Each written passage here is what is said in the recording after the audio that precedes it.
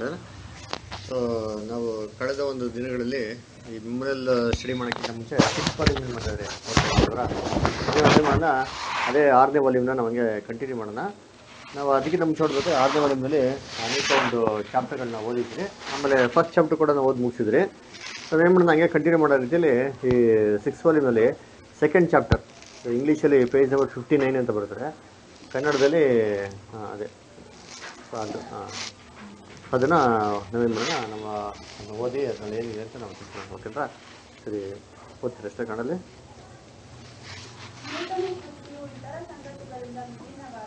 ಅದರ ಹೆಸರು ನೋಡ್ಬೇಕಾದ್ರೆ ಹೆಡ್ಡಿಂಗ್ ಏನಂತಂದ್ರೆ ನೂತನ ಸೃಷ್ಟಿ ಅಂತ ಅಂತಾರೆ ಸೊ ಇದರಲ್ಲಿ ಏನು ಮಾಡ್ತಾರೆ ಅಂದರೆ ಈ ಚಾಪ್ಟರಲ್ಲಿ ನ್ಯೂ ಕ್ರಿಯೇಷನ್ ಬಗ್ಗೆ ಮಾಡ್ತಾರೆ. ಅಲ್ಲಿ ಅಲ್ಲಿ ಮಾತಾಡ್ತಾ ಇದ್ದಾರೆ. ಅಂದ್ರೆ ಹೊಸ ಸೃಷ್ಟಿ ಅಂದರೆ ಹೊಸ ಸೃಷ್ಟಿ ಬಗ್ಗೆ ಇರೋಂಥ ವಿಚಾರಗಳೇನು ಮಾಡ್ತಾರೆ ಅಲ್ಲಿ? ಅಲ್ಲಿ ಅವರು ಮಾತಾಡ್ತಾ ಇದ್ದಾರೆ. ಅದಕ್ಕೆ ಅವ್ರು ಹೇಳ್ತಾ ಮೊದಲನೇ ಅಂಶ ಏನಂದರೆ ನೂತನ ಸೃಷ್ಟಿ ವಿಭಿನ್ನವಾಗಿಯೂ ಆಮೇಲೆ ಹೆಂಗಿದೆ ಅಂತೆ. ಅದು ಬೇರೆ ಎಲ್ಲ ಸೃಷ್ಟಿಗಳಿಗಿಂತ ಯಾವ ರೀತಿ ಒಂದು ವ್ಯತ್ಯಾಸವಾಗಿದೆ ಏನಕ್ಕೆ ಅದು ವ್ಯತ್ಯಾಸ ಏನು ಯಾವ ಸೃಷ್ಟಿಗಳಿಂದ ಇದು ವ್ಯತ್ಯಾಸ ಇದೆ ಯಾವ ಥರ ವ್ಯತ್ಯಾಸ ಇದೆ ಅಂತ ನಮ್ಗೆ ಹೇಳ್ತಾರೆ ಇದರಲ್ಲಿ. ಆಮೇಲೆ ಹ್ಞೂ ಹ್ಞೂ ಹ್ಮ್. ಅದರ ಸೊ ಈ ನೂತನ ಸೃಷ್ಟಿನ ದೇವರು ಬಂದ್ಬಿಟ್ಟು ಯಾಕೆ ಒಂದು ಮನುಷ್ಯನೇ ಆರಿಸ್ತಾ ಇದ್ದಾರೆ? ಯಾಕೆ ಬಂದ್ಬಿಟ್ಟು ದೇವತರ ನಡುವೆ ಆರಿಸ್ತಾ ಇಲ್ಲ? ಅಥವಾ ಬೇರೆ ಯಾವುದೇ ಸೃಷ್ಟಿಗಳಲ್ಲಿ ದೇವರಿಗೆ ಅವಕಾಶ ಕೊಡ್ತೀರಾ? ಯಾಕೆ ಈ ಮೊದಲನೇ ಅವಕಾಶ ಬಿಟ್ಟು ಮನುಷ್ಯಲ್ಲಿರೋಂಥ ಜನಗಳಿಗೆ ಕೊಟ್ಟರು ಅಂತ ಮತ್ತೆ ಏನು ಮಾಡ್ತಾರೆ? ಇದನ್ನಲ್ಲಿ ಹೇಳ್ತಾರೆ. ನೆಕ್ಸ್ಟ್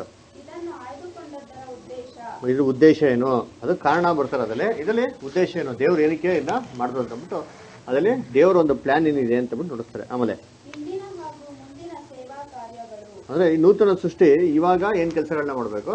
ಆಮೇಲೆ ಮುಂದಕ್ಕೆ ಏನ್ ಕೆಲಸಗಳನ್ನ ಮಾಡಬೇಕು ಅಂತ ಏನ್ ಮಾಡ್ತಾರೆ? ಅದರಲ್ಲಿ ಹೇಳ್ತಾರೆ. ಆಮೇಲೆ ಯಾವ ರೀತಿಯಲ್ಲಿ ಪಡೆದುಕೊಂಡಿದ್ದು ಮತ್ತು ಹ್ಮ್. ನೂತನ ಸ್ವಭಾವಕ್ಕೆ ಜನಿಸಿದ್ದು ಹ್ಮ್. ಯಾವ ರೀತಿ ನೂತನ ಸೃಷ್ಟಿ ಗರ್ಭಧಾರಣೆ ಆಗಿದ್ದು ಆಮೇಲೆ ಯಾವ ತರ ನೂತನ ಸೃಷ್ಟಿ ಅಂದ್ಬಿಟ್ಟು ಜನ್ಮ ಪಡಿತಾರೆ ಪುನರ್ತನ ಅಂದ್ಬಿಟ್ಟು ನೂತನ ಸೃಷ್ಟಿ ಯಾವ ರೀತಿ ಒಂದು ಈ ಒಂದು ಆತ್ಮಿಕ ಶರೀರದಲ್ಲಿ ಅವರು ಜನ್ಮ ತಗೊಂತಾರೆ ಅಂದ್ಬಿಟ್ಟು ಆ ಪಾಯಿಂಟ್ ಮಾಡ್ತಾ ಇದ್ದಾರೆ ಇಲ್ಲಿ ಮಾತಾಡ್ತಾರೆ. ಅಂದ್ರ ಆಮೇಲೆ. ಹಾ. ಎಲ್ಲಾ ಸದಸ್ಯರಲ್ಲಿ ನಾಯಕ. ಆಮೇಲೆ. ಹ್ಮ್. ಹ್ಮ್. ಅಂದ್ರೆ ಅಂದ್ರೆ ಯೇಸು ಕ್ರಿಸ್ತನ ಒಂದು ದೇಹಕ್ಕೆ ಅಂಗವಾಗಿರೋರಿಗೆ ಯಾವ ಥರ ಡೆವಲಪ್ ಮಾಡ್ತಾರೆ? ಆಮೇಲೆ ಆ ಡೆವಲಪ್ಮೆಂಟ್ಗಳಿಗೆ ಯಾವ ರೀತಿ ದೇವರ ಒಂದು ಒಂದು ಒಂದು ಪರೀಕ್ಷೆಗಳನ್ನ ಕೊಡ್ತಾರೆ ಅಂತ ಅಂದ್ಬಿಟ್ಟು ಒಂದು ಅಂಶಗಳು. ಆಮೇಲೆ. ಹ್ಞೂ ಅದರ ಸಿಕ್ಸ್ತ್ ಸೆನ್ಸ್ ನಮ್ಗೆಲ್ಲರಿಗೂ ದೇವ್ರು ಏನು ಕೊಟ್ಟಾರೆ? ಎಷ್ಟೋ ಐದು ಸೆನ್ಸ್ಗಳಿಗೆ ಮಾಡೋರೆ ಕೊಟ್ಟಾರ ಸೊ ಆ ಒಂದು ಐದು ಸೆನ್ಸ್ ಬಿಟ್ಬಿಟ್ಟು ನೂತನ ಸೃಷ್ಟಿಗೆ ಏನು ಮಾಡೋರೆ ಇನ್ನೊಂದು ಸೆನ್ಸ್ ಕೊಟ್ಟಿದ್ದಾರೆ ಅಂತ ಹೇಳ್ತಾರೆ. ಅಂದರೆ ಸ್ಪಿರಿಚುವಲ್ ಸೆನ್ಸ್ ಅಂತ ಸಿಕ್ಸ್ತ್ ಸೆನ್ಸ್ ಅಂತ ಏನದು ಅಂತ ನಾವೇನು ಮಾಡೋಣ ನೋಡೋಣ. ಹಾಂ ಆಧ್ಯಾತ್ಮಿಕ ಸಂಗತಿಗಳನ್ನು ಗ್ರಹಿಸುವ ಪ್ರಜ್ಞೆ ಹ್ಞೂ ಮುಖ್ಯಸ್ಥನಿಗೆ ನಿಷ್ಠೆಯುಳ್ಳವರಾಗಿರುವಂತೆ. ಮತ್ತು ಸಹೋದರರಲ್ಲಿ ಯಾರಿಂದಲೂ ಬದಲಾಗದಂತೆ ನೂತನ ಸೃಷ್ಟಿಯನ್ನು ಯಾವ ಹೆಸರಿನಿಂದ ಕರೆಯಬೇಕು? ಹ್ಮ್. ಮುಗ್ದೋಯ್ತಾ ಸೊ ನೋಡ್ಬೇಕಾದ್ರೆ ನೂತನ ಸೃಷ್ಟಿಗೆ ಯಾಕೆ ಈ ಥರ ಹೆಸರು ಕೊಡಿದ್ರೆ ಯಾಕೆ ಈ ಹೆಸರಲ್ಲೇ ಕರಿಬೇಕು ಅಂತ ಅಂದ್ಬಿಟ್ಟು ಏನು ಮಾಡ್ತಾರೆ? ಆ ಕಾರಣಗಳು ಹೇಳ್ತಾರ ಸೊ ನಾವೇನು ಮಾಡೋಣ ಇದನ್ನ ಒಂದೊಂದಾಗೆ ನಾವೇನು ಮಾಡೋಣ ಅಂತ ಓದ್ಕೊಂಡು ಹೋಗೋಣ ಅಂದ್ರೆ ಇದಕ್ಕೆ ಪದೇ ಪದೇ ನೂತನ ಸೃಷ್ಟಿ ಎಂದು ಅದರ ಅಂತಿಮ ಸದಸ್ಯರನ್ನು ಅದನ್ನು ನಿಭಾಯಿಸುವವರನ್ನು ನಿಶ್ಚಯಪೂರ್ವಕವಾಗಿ ಏಸು ಕ್ರಿಸ್ತನಲ್ಲಿ ನೂತನ ಸೃಷ್ಟಿಗಳು ಎಂದು ಕರೆಯಲಾಗಿದೆ. ಹ್ಮ್. ನೋಡ್ಬೇಕು ಬೈಬಲ್ನಲ್ಲಿ ಏಸು ಕ್ರಿಸ್ತನ್ ದೇಹಕ್ಕೆ ಅಂಗವಾಗಿರೋರು, ಅಂದ್ರೆ ಏನು ಅಲ್ಟಿಮೇಟ್ ಆಗಿ ಓವರ್ಕಮರ್ಸ್ ಆಗಿರೋರು, ಅಂದ್ರೆ ಲ್ಯಾಕ್ ಅಂಡ್ ಫಾರ್ಟಿ ಸೇರಂತ ಹರರಾಗಿರೋಂಥವ್ರಿಗೆ ಏನ್ ಮಾಡ್ತಾರೆ? ಬೈಬಲಲ್ಲಿ ನೂತನ ಸೃಷ್ಟಿ ಅಂತ ಅಂದ್ಬಿಟ್ಟು ಮಾಡ್ತಾರೆ? ಅಲ್ಲಿ ಕರೀತಾರೆ. ಅದರ ಸೊ ಅದು ಬೈಬಲ್ ಬೈಬಲಲ್ಲಿ ನೂತನ ಸೃಷ್ಟಿ ಅಂತ ಜನರಲ್ ಆಗಿ ಹೇಳೋದಂದ್ರೆ ಎಲ್ಲರಿಗೂ ಹೇಳ್ತಾರೆ. ಆದ್ರೆ ಮುಖ್ಯವಾಗಿ ಇದು ಬೈಬಲ್ ಯೂಸ್ ಮಾಡೋ ಟರ್ಮ್ ಯಾರಿಗೆ ಅಂತಂದ್ರೆ ಮುಖ್ಯವಾಗಿ ಓವರ್ಕಮರ್ಸ್ ಅಂದ್ರೆ ಲ್ಯಾಕ್ ಆ್ಯಂಡ್ ಫಾರ್ಟಿ ಫೋರ್ ತೌಸಂಡ್ಗೆ ಎಕ್ಸಾಕ್ಟ್ ಆಗಿ ಅವ್ರಿಗೆ ಯೂಸ್ ಮಾಡ್ತಾರೆ ಅಂತ ಹೇಳ್ತಾರೆ.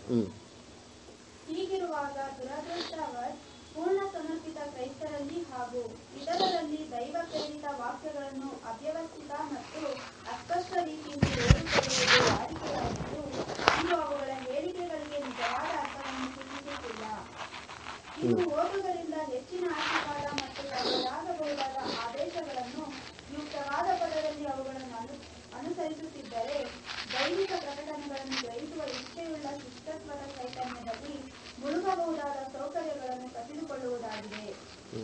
ದೇವರ ವಾಕ್ಯದ ಸಾಮಾನ್ಯ ಓದುಗರು ಅದರಿಂದ ಕಲಿತುಕೊಳ್ಳಲು ಅಪೇಕ್ಷಿಸುವುದಿಲ್ಲ. ಅವರು ಅದನ್ನು ಔಪಚಾರಿಕವಾಗಿ ಒಂದು ರೀತಿಯ ದೇವರ ವಾಕ್ಯದ ಸಾಮಾನ್ಯ ಓದುಗರು ಕರ್ತವ್ಯವೋ ಎಂಬಂತೆ ಓದುವುದರಿಂದ ಹೆಚ್ಚಿನ ಮಟ್ಟದ ಕಷ್ಟವು ಕಂಡುಬರುತ್ತದೆ. ಅವರಿಗೆ ದೈವಿಕ ಯೋಜನೆಗಳ ಬಗ್ಗೆ ಮಾಹಿತಿ ಮಾಹಿತಿಯು ಬೇಕಾದಾಗ ಅವರು ವ್ಯಾಖ್ಯಾನಗಳು ಮತ್ತು ಪ್ರಶ್ನೋತ್ತರ ಗ್ರಂಥಗಳಿಗೆ ಮೈಗೂಡುತ್ತಾರೆ ಇವುಗಳು ಮತ್ತು ಜೀವಿಸುವ ಬೋಧಕರುಗಳು ಚಿಯೋನಿನ ಯಾತ್ರೆಯಲ್ಲಿ ದೈಹಿಕ ಲಕ್ಷಣ ಮತ್ತು ಯೋಜನೆಗಳನ್ನು ತಿಳಿಸಿಕೊಡುವಲ್ಲಿ ಅವರಿಗೆ ಸಹಾಯಕ ಅರ್ಥಗಳಾಗಬಹುದು ಆದರೆ ದುರಾದೃಷ್ಟ ದುರಾದೃಷ್ಟವಶ ಅದು ಹಲವು ಬಾರಿ ವ್ಯತಿರಿಕ್ತವಾಗಿರುತ್ತದೆ. ಅವರು ಪದೇ ಪದೇ ನ್ಯಾಯ ತೀರ್ಪಿಕೆಯನ್ನು ನೋಡ್ಬೇಕಾದ್ರೆ ಬೈಬಲಲ್ಲಿ ನೂತನ ಸೃಷ್ಟಿ ಅಂತ ಅಂದ್ಬಿಟ್ಟು ಏನು ಮಾಡ್ತಾರೆ? ಪ್ರತ್ಯೇಕವಾಗಿ ಈ ಓವರ್ ಕಮರ್ಸ್ಗೆ ಏನು ಮಾಡ್ತಾರೆ? ಯೂಸ್ ಮಾಡ್ತಾರೆ. ಆದರೆ ಇವತ್ತೇನಾಗ್ಬಿಟ್ಟಿದೆ ಅಂತಂದರೆ, ಈ ನೂತನ ಸೃಷ್ಟಿ ಅಂತ ಹೇಳ್ಬೇಕಾರೆ ಲೋಕದಲ್ಲಿ ಇದು ಸಾಮಾನ್ಯವಾಗಿರೋಂಥ ಒಂದು ಕ್ರೈಸ್ತವರು ಕೂಡ ಒಂದು ಯೂಸ್ ಮಾಡೋಂಥ ಟರ್ಮ್ ಏನಾಗ್ಬಿಟ್ಟಿದೆ? ಒಂದಾಗ್ಬಿಟ್ಟಿದೆ. ಸೊ ಯಾರ್ಯಾರಿಗೆಲ್ಲ ನೂತನ ಸೃಷ್ಟಿ ಅಂತ ರೇಡಿಯೋ ಬರ್ತಾರೆ ಅಂತಂದರೆ, ಓ, ಸತ್ಯ ಒಂದು ತಿಳಿದಿರೋಂಥ ಒಂದು ನಾಮಿನಲ್ ಕ್ರಿಶ್ಚಿಯನ್ಸ್ ಕೂಡ ಏನ್ರಿ? ಅದು ನೂತನ ಸೃಷ್ಟಿ, ಅದರ ಕ್ರಿಸ್ತನಲ್ಲಿ ಯಾರು ಸತ್ಯ ನಂಬಿ ಏನಂತಾರೆ ಈ ಲೋಕದಂತೆಲ್ಲ ವಿಗ್ರಹಗಳನ್ನ ಬಿಟ್ಬಿಟ್ಟು ಯೇಸು ಕೃಷ್ಣ ನಂಬಿದ ತಕ್ಷಣ ಬ್ಯಾಪ್ಟಿಸಮ್ ತಗೊಂಡ್ಬಿಟ್ಟಾರೆ, ಅವರು ಕೂಡ ಏನಾಗ್ಬಿಡ್ತಾರೆ, ನೂತನ ಸೃಷ್ಟಿ ಆಗ್ಬಿಡ್ತಾರೆ ಅಂದ್ಬಿಟ್ಟು ಈ ಒಂದು ಕಾನ್ಸೆಪ್ಟ್ ಏನಾಗ್ಬಿಟ್ಟಿದೆ ಅಂದ್ರೆ ಲೋಕದಲ್ಲಿ ನಾಮಿನಲ್ ಕ್ರಿಶ್ಚಿಯನ್ಸ್ ಕೂಡ ಏನಾಗ್ಬಿಟ್ಟಾರೆ, ಒಂದು ನ್ಯೂ ಕ್ರಿಯೇಷನ್ ಆಗ್ಬಿಟ್ಟಾರೆ ಅಂದ್ಬಿಟ್ಟು ಯಾವಾಗ ನೀರಲ್ಲಿ ಮುಳುಗಿ ಎದ್ಬಿಡ್ತಾರೆ ಅಂತಂದ್ರೆ ಮುಗಿದೋಯ್ತು, ಹಳೆ ಕೆಲಸಗಳೇ ಸತ್ತದಂಗಾಯ್ತು, ಇನ್ಮೇಲೆ ಹೊಸ ಜೀವ ಕೊಟ್ಟಾರೆ, ಹೊಸದಾಗಿ ಮಾಡ್ತಾವ ನಾವು ಬಾಳ್ಬೇಕು ಅಂದ್ಬಿಟ್ಟು ಈ ಕಾನ್ಸೆಪ್ಟ್ ಬಂದಿರೋದ್ರಿಂದ ಈ ನೂತನ ಸೃಷ್ಟಿ ಅಂತಂದ್ರೆ ಜನರಲ್ ಆಗಿ ಏನ್ ಮಾಡಕ್ಕೆ ಶುರು ಮಾಡ್ತಾರೆ ಅಂತಂದ್ರೆ ಎಲ್ಲಾರ್ಗೆ ಮಾಡಕ್ಕೆ ಶುರು ಮಾಡ್ತಾರೆ. ಎಲ್ಲಾ ಕ್ರಿಶ್ಚಿಯನ್ಸ್ಗಳಿಗೂ ಅಪ್ಲೈ ಮಾಡಕ್ಕೆ ಶುರು ಮಾಡ್ತಾರೆ. ಅದಕ್ಕೆ ನೋಡ್ಬೇಕಾದ್ರೆ ಇದೇನಕ್ಕೆ ಈ ತರ ಒಂದು ಫಾಲ್ಸ್ ಕನ್ಸೆಪ್ಷನ್ಸ್ ಬಂತು ಅಂತಂದ್ರೆ ಈ ಬೈಬಲ್ನ ಫಸ್ಟ್ ಆಫ್ ಆಲ್ ಏನ್ ಮಾಡಕ್ ಹೋದ? ಸರಿಯಾಗಿ ಓದೋದಕ್ಕೆ ಹೋಗಲ್ಲ. ಅದನ್ನ ಬೈಬಲ್ ಓದ್ಬೇಕಾದ್ರೆ ಯಾವಾಗ ಯಾವ ತರ ಓದ್ತಾರೆ ಮುಖ್ಯವಾಗಿ ಅಟ್ಲೀಸ್ಟ್ ನಾವಾರ ಏನು ಸತ್ಯವೇದ ವಿದ್ಯಾರ್ಥಿಗಳ ಈ ಸತ್ಯದಲ್ಲಿ ಅಂತ ಆಳವಾಗಿಂತ ವಿಚಾರಗಳು ತಿಳ್ಕೊಬೇಕು ಅಂದ್ಬಿಟ್ಟು ಅದು ದೇವ್ರ ಯೋಜನೆ, ದೇವ್ರ ಮನಸ್ಸಿನ ತಿಳ್ಕೊಬೇಕು ಅಂತ ಪ್ರಯತ್ನ ಮಾಡ್ತಾರೆ ಲೋಕ ನೋಡ್ಬೇಕಾದ್ರೆ ಯಾವ ತರ ಆಗ್ಬಿಟ್ಟಿದೆ ಅಂದ್ರೆ ಕ್ರಿಶ್ಚಿಯನ್ಸ್ ಅಲ್ಲಿ ಈ ಬೈಬಲ್ನ ಓದೋದು ಏನಕ್ಕೆ ಫಸ್ಟ್ ಆಫ್ ಆಲ್ ಒಂದು ಡ್ಯೂಟಿ ತರ. ಒಂದು ಕರ್ತವ್ಯ ಥರ ಅದರ ಓ, ದೇವ್ರು ನಮ್ಗೆ ಸತ್ಯ, ಒಂದು ಕರೆದವ್ರೆ, ನಮ್ಗೆ ಇಷ್ಟೆಲ್ಲ ಒಂದು ರಕ್ಷಣೆ ಕೊಟ್ಟರೆ ಅಂದ್ಬಿಟ್ಟು ನಾವೇ ಮಾಡಬೇಕು? ಅವ್ರ ಬಗ್ಗೆ ನಾವು ಇನ್ನೂ ತಿಳ್ಕೊಬೇಕು ಅಂದ್ಬಿಟ್ಟು ಆ ಒಂದು ಕ್ಯೂರಿಯಾಸಿಟಿಯಿಂದ ಓದ್ತಾರೆ ಈ ಬೈಬಲ್ನ ಇಷ್ಟು ಕಂಪ್ಲೀಟ್ ಮಾಡಬೇಕು ಅಂತ ಒಂದು ಓದ್ತಾರೆ ಅಷ್ಟೇ ಹೊರತು, ಅದರಲ್ಲಿ ಏನು ದೇವ್ರು ಇಟ್ಟಾರೆ ಅಂತ ಮಾಡಕ್ ಹೋಗಲ್ಲ. ಒಂದೊಂದು ಪಾಯಿಂಟ್ಸ್ನ ತಿಳ್ಕೊಳೋದಕ್ಕೆ ಅವ್ರಿಗೆ ಮನಸ್ಸಿರೋದಿಲ್ಲ ಅದರ ಅಂದ್ರೆ ಏನು ಜನರಲಾಗಿ ಓದಬೇಕು, ಓದ್ಬೇಕು ಏನು ಬೈಬಲ್ನ ಮುಗಿಸ್ಬೇಕು ಅಷ್ಟೇ ಹೊರತು ಬೈಬಲ್ನಲ್ಲಿ ದೇವ್ರು ಏನು ಮಾಡಿದ ನಮಗೋಸ್ಕರ ಅಂತ ಅಂದ್ಬಿಟ್ಟು ಆ ಒಂದು ಪಾಯಿಂಟ್ ಇಲ್ಲಿ ಮಾಡಕ್ ಹೋಗಲ್ಲ. ಅದು ತೊಗೊಳಕಲ್ಲ ಇಲ್ಲ ಇನ್ ಕೆಲವು ಜನ ಯಾವುದು ಓದ್ತಾರೆ ಅಂದ್ರೆ ಮನಸ್ಸಿಗೆ ಕಂಫರ್ಟ್ ಸಿಗೋದಿಲ್ಲ ಅಂದ್ರೆ ಯಾರೋ ದುಃಖ, ಕಷ್ಟ ಸಂಕಟ ಅದು ಇರ್ತಾರೆ. ಅವಾಗ ಏನು ಮಾಡೋದು ಕೀರ್ತನೆಗಳಲ್ಲಿ ಜ್ಞಾನತಿಗಳಲ್ಲಿ ಇಲ್ಲ ಯೋಬನ ಪುಸ್ತಕ ಓದೋದು, ಇಲ್ಲ ಪ್ರಸಂಗಿ ಓದೋದು, ಈ ಥರ ಏನು ಮಾಡೋದು? ಬೈಬಲ್ ಅಂತ ಕೆಲವೊಂದು ಓದ್ಬಿಟ್ಟು ಅದರಲ್ಲಿ ಕಂಫರ್ಟ್ ತೊಗೊಳಕ್ಕೆ ಹೋಗ್ತಾರೆ ಹೊರತು ಇದರಲ್ಲಿ ಇರೋಂಥ ದೇವ್ರ ಯೋಜನೆ ಬಗ್ಗೆ ತಿಳ್ಕೊಳಕ್ಕೆ ಮಾಡಕ್ ಹೋಗಲ್ಲ. ಅದನ್ನ ಮನ್ಸು ಮಾಡೋದಿಲ್ಲ ಅಂತ ಆಮೇಲೆ ಇನ್ನೊಂದು ಏನು ಕಾರಣ ಅಂತಂದ್ರೆ ಇದು ಫಸ್ಟ್ ಆಫ್ ಆಲ್ ಇದನ್ನ ಬೈಬಲ್ ಹೇಳ್ಕೊಡೋರು. ಅವ್ರಿಗೆಲ್ಲ ಟೀಚ್ ಮಾಡ್ತಾರಲ್ಲ.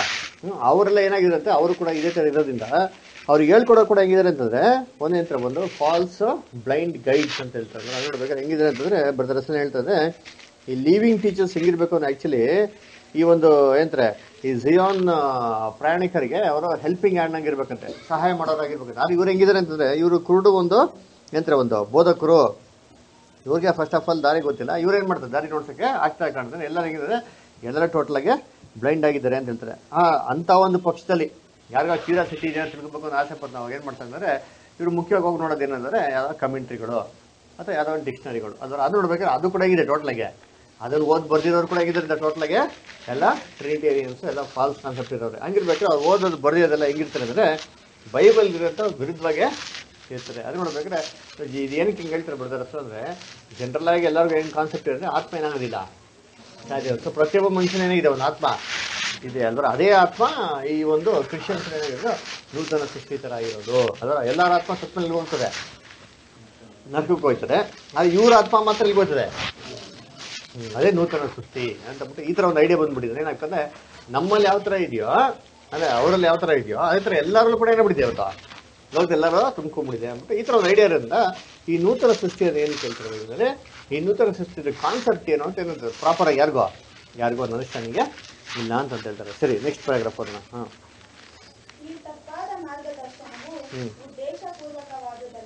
ಹ್ಞೂ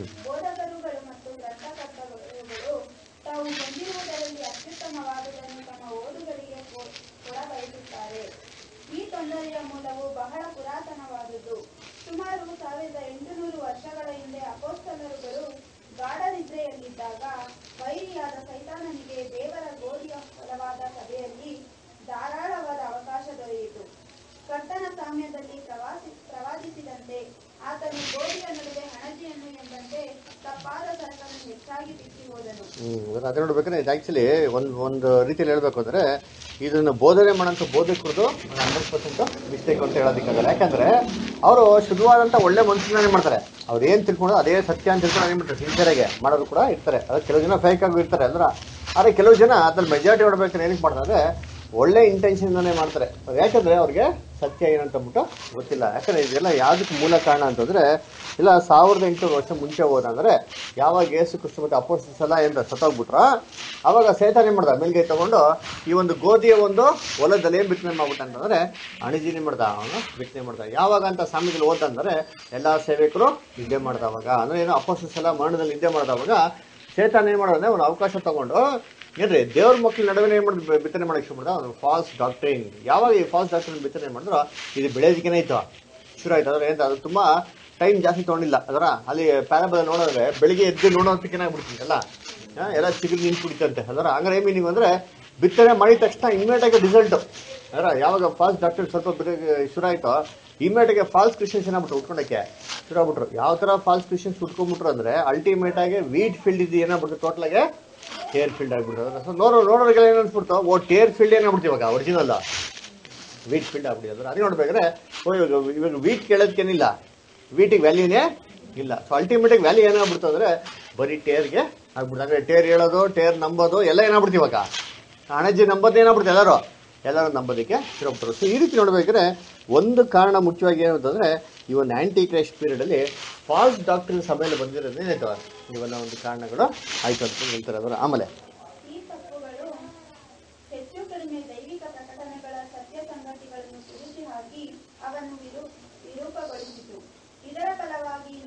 ಶತಮಾನವು ಉದಯವಾಗುವುದರಷ್ಟರಲ್ಲಿ ದೇವರ ಬೋಧಿ ಹೊಲವು ಬಹುಮಟ್ಟಿಗೆ ಕೇವಲ ಅಲ್ಪ ಪ್ರಮಾಣದ ನಿಜವಾದ ಗೋಧಿಯುಳ್ಳ ಹಣತೆಯ ಫಲವಾಯಿತು ದೋಷವೆಂಬ ಅಂಧಕಾರವು ಸಭೆಯ ಮೇಲೆ ಹೆಚ್ಚು ಹೆಚ್ಚಾಗಿ ಆವರಿಸುತ್ತಾ ಹತ್ತು ಶತಮಾನಗಳವರೆಗೆ ಈ ನೀಚ ಧಾರ್ಮಿಕ ರಹಸ್ಯವು ಬಳಕೆಯಲ್ಲಿದ್ದು.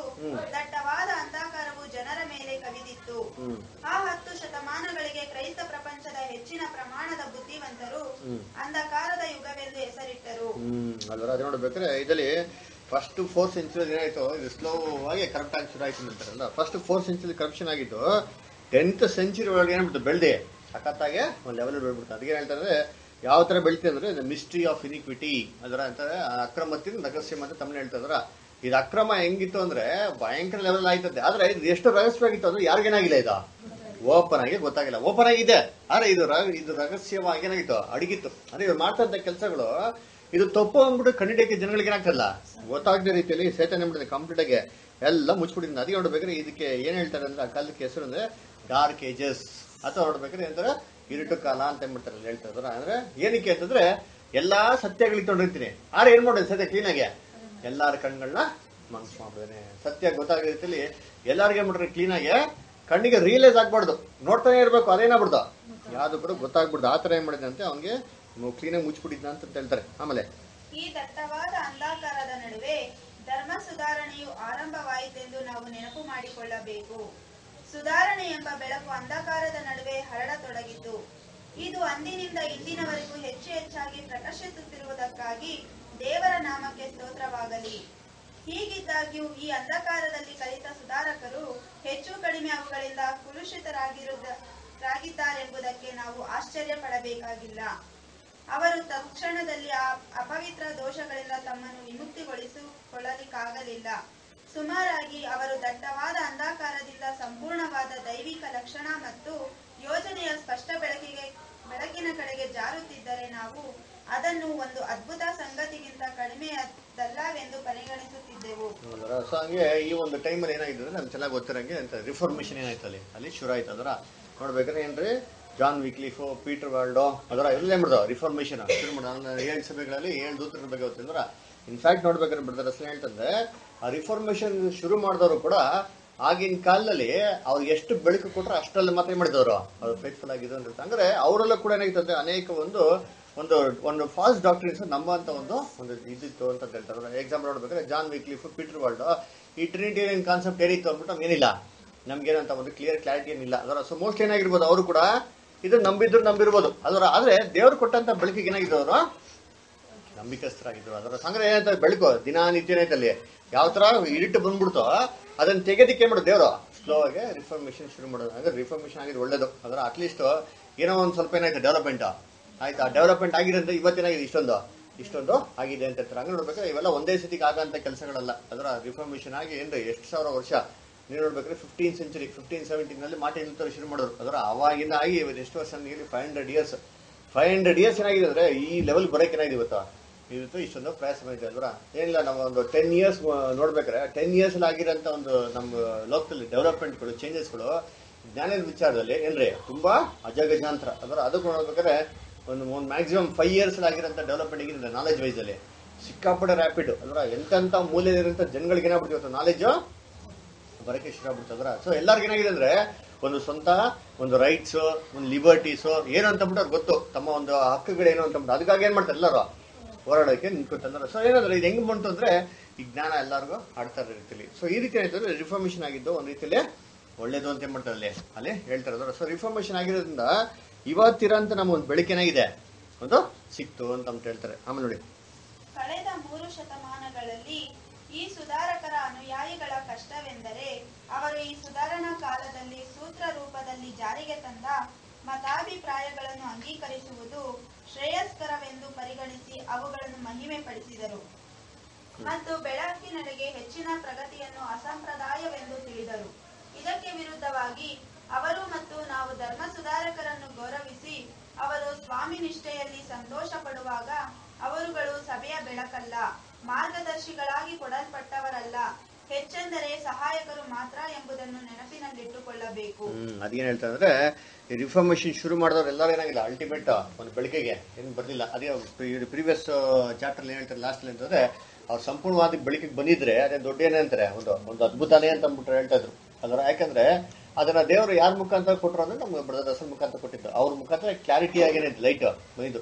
ಸೊ ಇದೇ ರೀತಿ ಒಂದು ಬೆಳಕು ಪೂರ್ವ ಕಾಲದಲ್ಲೇ ಬಂದಿದ್ರೆ, ಅದು real it was greatest miracle ಅಂತ ಹೇಳ್ತಾರೆ. ಯಾಕಂದ್ರೆ ನಿಜವಲ್ಲ ಅದ್ಭುತಕ್ಕಿಂತ ಕಮ್ಮಿ ಏನೋ, ಅಲ್ಲ ಅದ್ಭುತ ಆಗದಿರ ಇದ್ರೆ ಅದು ಬರೋಕೆ ಸಾಧ್ಯನೇ ಆಗ್ತಾ ಇರಲಿಲ್ಲ. ಸೊ ಅದಕ್ಕೆ ನೋಡ್ಬೇಕಾದ್ರೆ ಎಂತ ದೇವ್ರ ಚಿತ್ತ ಅಲ್ವೇನೋ ಅದಕ್ಕೆ ದೇವ್ರೇ ಏನ್ ಮಾಡೋರೆ ಆ ಒಂದು ಟೈಮ್ವರೆಗೂ ಅದು ರಿಸಮ್ ಆಯ್ತಿರೋ ನೋಡ್ಬೇಕಾದ್ರೆ ರಿಫಾರ್ಮೇಷನ್ಸ್ ಎಲ್ಲ ರಿಫಾರ್ಮೇಷನ್ ಮಾಡಿದ್ರು. ಅದು ಏನಾಗ್ಬಿಟ್ರು, ಒಂದು ಲೆವೆಲ್ ಬಂದ್ಮೇಲೆ ಏನಾಗ್ಬಿಟ್ರೆ ಎಲ್ಲ ಸ್ಲೋ ಆಗಿ ಸ್ಲೋ ಆಗಿ ನಿಂತೋಗ್ಬಿಟ್ರು. ಅಂದ್ರೆ ಏನೇನು ಮಾಡಿ ಪ್ರೋಗ್ರೆಸ್ಗಳು ಅಲ್ಲಲ್ಲಿಗೆ ಏನಾಗ್ಬಿಟ್ರಲ್ಲ ಎಲ್ಲ? ನಿಂತೋಗ್ಬಿಟ್ರು. ಅಂದ್ರೆ ಅದಕ್ಕೆ ನಾವು ಆಂಟಿ ಕ್ರೇಸ್ ಕ್ಲಾಸ್ ಓದಿರ್ತಿರಲ್ಲ ಆ ಮುರುಗದ ತಲೆಗೆ ಏನ್ ಬಿತ್ತು ಭಯಂಕರವಾದಂತ ಏಟು. ಎಂತ ಏಟು? ಇನ್ನೇನು ಸತ್ತ ಬಿಡ್ಬೇಕಾಯ್ತು ಸಾವಕ್ಕೆ ಮರಣಕ್ಕೆ, ಆ ಎದ್ದುವ ನಾವು ರೆಡಿ ಅಂದ್ರ? ಕೊಡ್ಬೇಕಂತ ಏಟಿಗೆ ಸತ್ತೋಗ್ಬಿಡ್ಬೇಕಾಯ್ತು? ಅದೇನಾಗ್ಬಿಡ್ತು ವಾಪಸ್. ಅದು ಬದುಕ್ಬಿಡ್ತು ಅಂತಂದ್ರೆ ಏನ್ ಮೀನಿಂಗ್ ಅಂತಂದ್ರೆ, ಆ ಮಾಟಿ ಲೂಥರ್ ಕಾಲದಲ್ಲಿ ಏನಾಗ್ಬಿಡೋದು ಹೋಗ್ಬಿಡ್ಬೇಕಾಯ್ತು. ಆದ್ರೆ ಏನಾಗ್ಬಿಡ್ತು ಅದು? ತಿರ್ಗಾ ಅದು ಬೆಳಗ್ಗೆ ಶುರು ಆಯ್ತು ಅಂದ್ರೆ ಯಾವಾಗ ರಿಫಾರ್ಮೇಶನ್ಸ್ ಮಾಡಿದವರು, ಅವ್ರ ಲೀಡರ್ಸ್ ಸತ್ತೋಗ್ಬಿಟ್ರು. ಆ ಜೊತೆಗಿದ್ದವ್ರಲ್ಲಿ ಏನ್ ಮಾಡ್ರು ಅವ್ರ ಲೀಡರ್ ಮಾಡಿರೋಂಥ ಒಂದು ಕ್ರೀಡಿಗೆ ನೋಡ್ರಲ್ಲ ಅಲ್ಲೇ ಸ್ಟಿಕ್ ಅಪ್ ಇದೆ. ಇವ್ರು ಇಷ್ಟು ಹೇಳೋರೆ ನೆಕ್ಸ್ಟ್ ಏನಾಗ್ಬಿಡ್ತು ಪ್ರೋಗ್ರೆಸ್ ನೋಡಿ ನೆಕ್ಸ್ಟ್ ಏನೋ ಪ್ರೋಗ್ರೆಸ್ ಮಾಡಿದ್ರೆ, ಏನ್ರಿ? ಅನ್ಆರ್ಥೋಡಾಕ್ಸ್ ಅದ್ರ ಅದೇನು? ಇದು ದೇವ್ರಿಗೆ ಒಂದು ಭಯ ಭಕ್ತಿ ಮೀರಿ, ಒಂದು ಡಿಸಿಪ್ಲಿನ್ ಅಲ್ಲ ಅಂತ ಮಾಡೋದು ಈ ತರ ಕಾನ್ಸೆಪ್ಟ್ ಅಂದಾಗ ಏನಂತಂದ್ರೆ ರಿಫಾರ್ಮೇಷನ್ ಅಂತ ಅಲ್ಲಿ ಸಿದಾ ಇಂತ ಅದೇ ನೋಡ್ಬೇಕಾದ್ರೆ ರಿಫಾರ್ಮೇಷನ್ ಎಲ್ಲರೂ ಬಂದ್ಬಿಟ್ಟು ಅವರೆಲ್ಲ ಲೈಟ್ಸ್ ಆಫ್ ದ ಚರ್ಚ್ ಅಂತಾರೆ. ಅವ್ರ ಸಭೆಗೆಲ್ಲ ಬೆಳಕ ಅಂತಂದ್ರೆ ಸಭೆಗೇನು ಬೆಳಕು ಅಲ್ಲ, ಗೈಡು ಅಲ್ಲ. ಅಂದ್ರೆ, ದೇವ್ರ ಏನ್ ಮಾಡೋರೆ ಅವ್ರಿಗೆ ಸತ್ಯ ಕೊಡೋದಕ್ಕೋಸ್ಕರ ಉಪಯೋಗಿಸೋರು ಅಷ್ಟೇ. ಅಂದ್ರೆ ಅದು ಬಿಟ್ಟು ಅವ್ರೇನಿಲ್ಲ. ಅವ್ರಲ್ಲ ಏನ್ ದೊಡ್ಡ ಒಂದು ಇದೇನೋ ಒಂದು ಈ ಮುಖ್ಯ ಅನ್ನಲ್ಲ ಅಂತ ಹೇಳ್ತಾರೆ. ಅದ್ರ ಬದಲು ಯಾರು ಮುಖ್ಯ ಅಂತ ಹೇಳ್ತಾರೆ ನೆಕ್ಸ್ಟ್ ಹೇಳ್ತಾರೆ ಅಂತೀನಿ. ಹಾ. ದೇವರಿಂದ ನಿಯೋಜಿಸಲ್ಪಟ್ಟ ಮಾರ್ಗದರ್ಶಿಗಳಲ್ಲಿ ಹ್ಮ್. ಮೊಟ್ಟ ಮೊದಲು ನಮ್ಮ ಕರ್ತನು ತಾನೆ. ಎರಡನೆಯದಾಗಿ ಆತನ ಮೂಲಕ ಸ್ಫೂರ್ತಿಗೊಂಡು ಮಾರ್ಗದರ್ಶನ ಪಡೆದುಕೊಂಡ ಅಪೋಸ್ತಲರುಗಳು. ಪರಿಶುದ್ಧಾತ್ಮನಿಂದ ಪ್ರೇರಿತರಾಗಿ. ನಮ್ಮ ಎಚ್ಚರಿಕೆಗಾಗಿ ಮಾತನಾಡಿದ ಮತ್ತು. ಬರದ ಹಿಂದಿನ ಕಾಲದ ದೇವರ ಪವಿತ್ರ ಜನರು. ಅದೇ ಹೇಳ್ಬೇಕ್ರೆ ಯಾರಪ್ಪ ದೇವರ ದೇವ್ರ ಸಭೆಗೆ ನಿಜವಾದ ಬೆಳಕು ಅಂತಂದ್ರೆ ಫಸ್ಟ್ ಆಫ್ ಆಲ್ ನಮ್ಮ ರಕ್ಷಕರಂತ ಯೇಸು ಕ್ರಿಸ್ತು ಅಲ್ರ ನೆಕ್ಸ್ಟ್ ನೋಡ್ಬೇಕ್ರೆ ಯಾರು ಅಂತಂದ್ರೆ ಏನ್ರಿ ಅಪೋಸಸ್ ಅದರ ಅದು ನೆಕ್ಸ್ಟ್ ಯಾರು ಅಂತಂದ್ರೆ ಏನು ಹಳೆ ಕಾಲದಂತ ಪ್ರವಾದಿಗಳು ಅದರ ನಾವು ಅದಕ್ಕೆ ನೋಡ್ಬೇಕಾದ್ರೆ ಪ್ರಕಟಣೆ ಹನ್ನೆರಡು ಕೂಡ ಬರ್ತೀರಿ. ಆ ಸ್ತ್ರೀ ಬಂದ್ಬಿಟ್ಟು ಏನಾಗಿಲ್ಲಂತೆ ತಲೆ ಮೇಲೆ ನಕ್ಷತ್ರ ಹನ್ನೆರಡು ನಕ್ಷತ್ರ ಇಟ್ಕೊಂಡು ಅಂದ್ರೆ ಸಭೆಗೆ ಏನಾಗಿತ್ತಂದ್ರೆ ಆ ಒಂದು ಕ್ರ, ಒಂದು ಕ್ರೌನ್ ತರ ಇದ್ದಿದೆ ಅಂದ್ರೆ ಅಪೋಸಸ್ ಅದರ ಬೆಳಕೆ ಅಂದ್ರೆ ಸೂರ್ಯ. ಅದರ ಚಂದ್ರನ ಮೇಲೆ ನಿಂತ್ಕೊಂಡಿದ್ದಾರೆ. ಫಸ್ಟ್ ಆಫ್ ಆಲ್ ಯೇಸು ಕ್ರಿಸ್ತನ ಏನಾಗಿರ್ತದೆ ಅದಕ್ಕೆ ಸಭೆಗೆ ಒಂದು ಜ್ಞಾನ, ಬುದ್ಧಿ, ತಿಳುವಳಿಕೆ ಬೆಳಕು ಕೊಟ್ಟಿದ್ದು ಅದೇ ಹೇಳ್ತಲ್ಲ ಮೋಸ ಮುಖಾಂತರ ಮತ್ತು ಧರ್ಮಶಾಸ್ತ್ರ ಮತ್ತು ಯೇಸು ಕ್ರಿಸ್ತ ಮುಖಾಂತರ ಮತ್ತು ಕೃಪೆ ಸತ್ಯ. ಬೆಳಕು ಬಂದಿದೆ ಯಾರ ಮುಖಾಂತರ ಅದೇ ಕ್ರೈಸ್ಟ್ ಮುಖಾಂತರ is light of this world ಅಂತ ಹೇಳ್ತಾರಲ್ಲ. ಸೊ ನೋಡ್ಬೇಕಾದ್ರೆ, ಇವರೇ ಮೇನ್ ಅಂತ ಹೇಳ್ತಾರೆ. ನೆಕ್ಸ್ಟ್ ರಿಫಾರ್ಮೇಷನ್ಸ್ ಎಲ್ಲ ಏನಕ್ಕೆ ಮಾಡಿದೆ ಅಂದ್ರೆ ದೇವರೇ ಮಾಡೋರೆ ಅವ್ರ ಮುಖಾಂತರ ಸಭೆಗಳಿಗೆ ಏನು ಮಾಡೋರೆ? ಒಂದೊಂದು ಸ್ವಲ್ಪ ಜ್ಞಾನ ಕೊಡೋದಕ್ಕೆ ಏನ್ ಮಾಡೋರೆ? ಉಪಯೋಗಿಸಿದ್ದಾರೆ. ಅಂದ್ರೆ ನಾನು ನೆಕ್ಸ್ಟ್ ಹೇಳ್ತಾರೆ ಪ್ಯಾರಾಗ್ರಾಫ್ ಅಲ್ಲಿ ಓದಿ. ನಿಜವಾದ ಬೆಳಕಿನ ಕ್ಷಣಿಕ ದರ್ಶನವನ್ನು ಅವರಿಗೆ ದೇವರು ಮಾಡಿಸುವುದರಿಂದ ಧರ್ಮ ಸುಧಾರಕರುಗಳು ತಮ್ಮ ಸುತ್ತಲೂ ಕವಿದಿದ್ದ ಅಂಧಕಾರವನ್ನು ಭಾಗಶಃ ಗ್ರಹಿಸಿಕೊಳ್ಳಲು ಮತ್ತು ಅವುಗಳಿಂದ ತಪ್ಪಿಸಿಕೊಂಡು ನಮ್ಮ ಕರ್ತನಾದ ಯೇಸು ಕ್ರಿಸ್ತನ ಮುಖದಲ್ಲಿ ಪ್ರಕಾಶಿಸುತ್ತಿರುವ ದೈವ ಜ್ಞಾನದ ಬೆಳಕಿನ ಕಡೆಗೆ ತಿರುಗಿ ಬರುವ ಸಾಹಸ ಮಾಡಲು ಸಾಧ್ಯವಾಯಿತು. ಇದು ಆತನ ಮತ್ತು ಆತನ ಅಪೋಸ್ತಲರುಗಳ ಮಾತುಗಳ ಮೂಲಕ ನಮ್ಮ ಕಾಲಿಗೆ ದೀಪವು ಮಾರ್ಗಕ್ಕೆ ಬೆಳಕು ಆಗಿ ಕೊಡಲ್ಪಟ್ಟಿದ್ದು. ನೀತಿವಂತರ ಮಾರ್ಗವು ಆ ಪರಿಪೂರ್ಣ ದಿನದವರೆಗೂ ಪ್ರಕಾಶಿಸುವಂತೆ ಮಾಡುವುದಾಗಿದೆ. ಈಗ ಯಾರಾದರೂ ಕರ್ತನ ಹಿಂಬಾಲಕರಾಗಿದ್ದಲ್ಲಿ ಅವರು ಲಕ್ಷ್ಯವಿಡಬೇಕಾದುದೇನೆಂದ, ಏನೆಂದರೆ ಮೌಖಿಕವಾಗಿ ಮತ್ತು ಮುದ್ರಿತ ಮುದ್ರಿತ ಪುಟಗಳ ಮೂಲಕ ಮಾಡಿದ ಮಾನವ ಸಾಧನೆ, ಸಾಧನತ ಮತ್ತು ಅವರ ಸೇವೆಯನ್ನು ಕಡೆಗಣಿಸದೆ ದೇವರ ವಾಕ್ಯದಲ್ಲಿ ಸ್ಫೂರ್ತಿಗೊಂಡ ಸಂದೇಶಗಳನ್ನು ಮೆಚ್ಚಲು ನೆರವಾಗುವ ಅವರ ಸಹಾಯಗಳನ್ನು ಮಾತ್ರ ಅಂಗೀಕರಿಸಬೇಕು. ಅವರು ಈ ವಾಕ್ಯಾನುಸಾರ ಮಾತನಾಡದೆ ಹೋದಲ್ಲಿ ಅದಕ್ಕೆ ಅವರಲ್ಲಿ ಬೆಳಕಿಲ್ಲದಿರುವುದೇ ಕಾರಣ. ಅದರ ಅದೇ ನೋಡ್ಬೇಕೇನು ಹೇಳ್ತಾರೆ. ಈ ರಿಫಾರ್ಮ್ ರಿಫಾರ್ಮರ್ಸ್ಗೆ ಕೊಟ್ಟಿರೋಂಥ ಬೆಳಕೆ ಯಾರು ಕೊಟ್ಟಿದ್ರೆ? ನಮ್ಮ ಕರ್ತನೆ ಮಾಡಿದ್ರು. ಕೊಟ್ಟಿದ್ದಾರೆ. ನೋಡ್ಬೇಕು ಇವನ್ನೆಲ್ಲ ಎಷ್ಟುವರೆಗೂ ನಾವು ನಂಬಬೇಕು ಅಂತಂದ್ರೆ, ಏನಂದ್ರೆ, ಅದು ಸತ್ಯವೇದಿಕೆ. ಇವಾಗ ದೇವ್ರು ನಮಗೆ ಕೊಟ್ಟಿರೋಂಥ ಬೆಳಕಿಗೆ ಅನುಸಾರವಾಗಿದ್ರೆ ಮಾಡ್ಬೇಕು. ಅಲ್ಲಿವರೆಗೂ ನಾವು ನಂಬಬೇಕು ಹೊರತು, ಅಲ್ಲಿ ಇಲ್ದಿರೋದ್ ಮೇಲೆ ಏನ್ ಮಾಡಂಗಿಲ್ಲ ಅದನ್ನ ಆದ್ರೆ ನಾವು ಅಧಿಕವಾಗಿ ನಾವು ಅದನ್ನ ಫಾಲೋ ಮಾಡೋಂಥ ಅವಶ್ಯಕತೆ ಇಲ್ಲ ಅಂತ ಏನ್ ಮಾಡ್ತಾರೆ ಅಲ್ಲಿ? ಅಲ್ಲಿ ಹೇಳ್ತಾರೆ. ಅಂದ್ರೆ ಸರಿ ನೋಡ್ಬೇಕಾದ್ರೆ ಈ ಒಂದು, ಈ ಫಾಲ್ಸ್ ಟೀಚಿಂಗ್ಸ್ ಹೆಂಗ್ ಬಂತು ಅಂತ ಹೇಳ್ತಾರೆ. ಆಮೇಲೆ ಈ ಫಾಲ್ಸ್ ಟೀಚಿಂಗ್ ಹೆಂಗೆ ಹೋಯ್ತು ಅಂತ ಮಾಡ್ತಾರೆ ಅಲ್ಲಿ? ಅಲ್ಲಿ ರಿಫಾರ್ಮೇಶನ್ ಮುಖಾಂತರ ಹೆಂಗೆ ಶುರು ಆಯ್ತು ಅಂತ ಮಾಡ್ತಾರೆ. ಇಲ್ಲಿವರೆಗೂ ಹೇಳ್ತಾರೆ ಅಂದ್ರೆ ನೆಕ್ಸ್ಟ್ ಓದೋಣ ಅಂತ ನೋಡಿ. ಬೇರೆ ಯಾರು ಓದ್ತೀರಾ? ಕನ್ನಡಲ್ಲಿ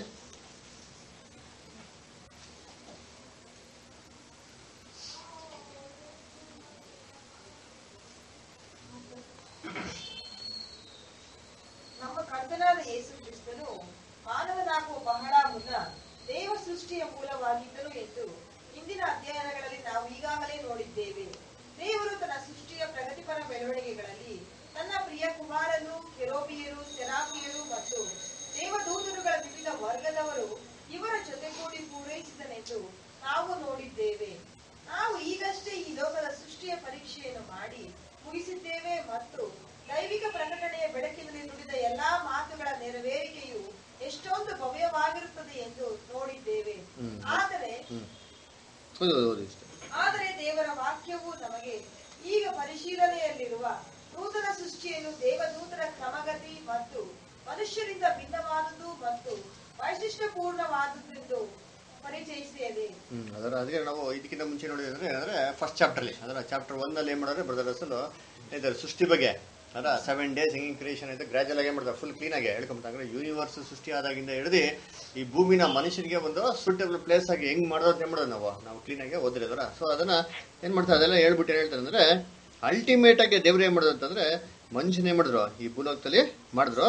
ಇದಾಗಿದ ನಂತರ ಏನ್ ಮಾಡಿದ್ರೆ, ನೂತನ ಸೃಷ್ಟಿ ಬಗ್ಗೆ ಏನ್ ಮಾಡ್ತಾರೆ ಬೈಬಲಲ್ಲಿ ಅಲ್ಲಿ ಮಾತಾಡ್ತಾರೆ ಅಂತ ಹೇಳ್ತಾರೆ. ಯಾವ ಥರ ಅಂದ್ರೆ ಈ ಬ- ಯಾವ ಥರ ಒಂದು ಏಂಜಲ್ ಇದ್ರಲ್ಲಿ ನೋಡ್ಬೇಕಾದ್ರೆ ಡಿಫ್ರೆಂಟ್ ಡಿಫ್ರೆಂಟ್ ಇದೆ ಲೆವೆಲ್ಸ್ ಇದೆ. ಅದರ ಏನಂತಾರೆ ಕೆರುಬಿಯಮು ಸೆರಾಫಿಮು ಅದರ ಇನ್ನೊಂದು ಕಡೆ ಹೇಳ್ತಾರೆ ಏಂಜಲ್ಸ್ ಪವರ್ಸ್ ಪ್ರಿನ್ಸಿಪಾಲಿಟೀಸ್ ಅಂತ ಏನ್ ಮಾಡ್ತಾರಲ್ಲ ಅದೆಲ್ಲ ಹೇಳ್ತಾರೆ. ಅಲ್ವರ ಅಧಿಕಾರಗಳು, ದೊರೆತನಗಳು, ಆಮೇಲೆ ಏನೋ ಸಿಂಹಾಸನಗಳು ಅಂತ ಬರ್ತವೆ ನಾವು ಅದರ ಸೊ ಅರ್ಥ ನೋಡ್ಬೇಕಾದ್ರೆ ಏನಂದ್ರೆ ಏಂಜಲ್ಸ್ ಅಲ್ಲಿ ಕೂಡ ಡಿಫ್ರೆಂಟ್ ಡಿಫ್ರೆಂಟ್ ಏನಿದೆ ಹಯಾರ್ಕಿಗಳೇನಾಗಿದೆ ದೇವರು ಸೃಷ್ಟಿ ಮಾಡಿದ್ರು. ಸೊ ಆ ರೀತಿ ನೋಡ್ಬೇಕಾದ್ರೆ ವಿಧ ವಿಧವಾದಂತ ಹಂತದಲ್ಲಿ ಅನೇಕ ವಿಧ ವಿಧವಾದ ಸೃಷ್ಟಿಗಳನ್ನೇ ಮಾಡೋರ ದೇವ್ರ.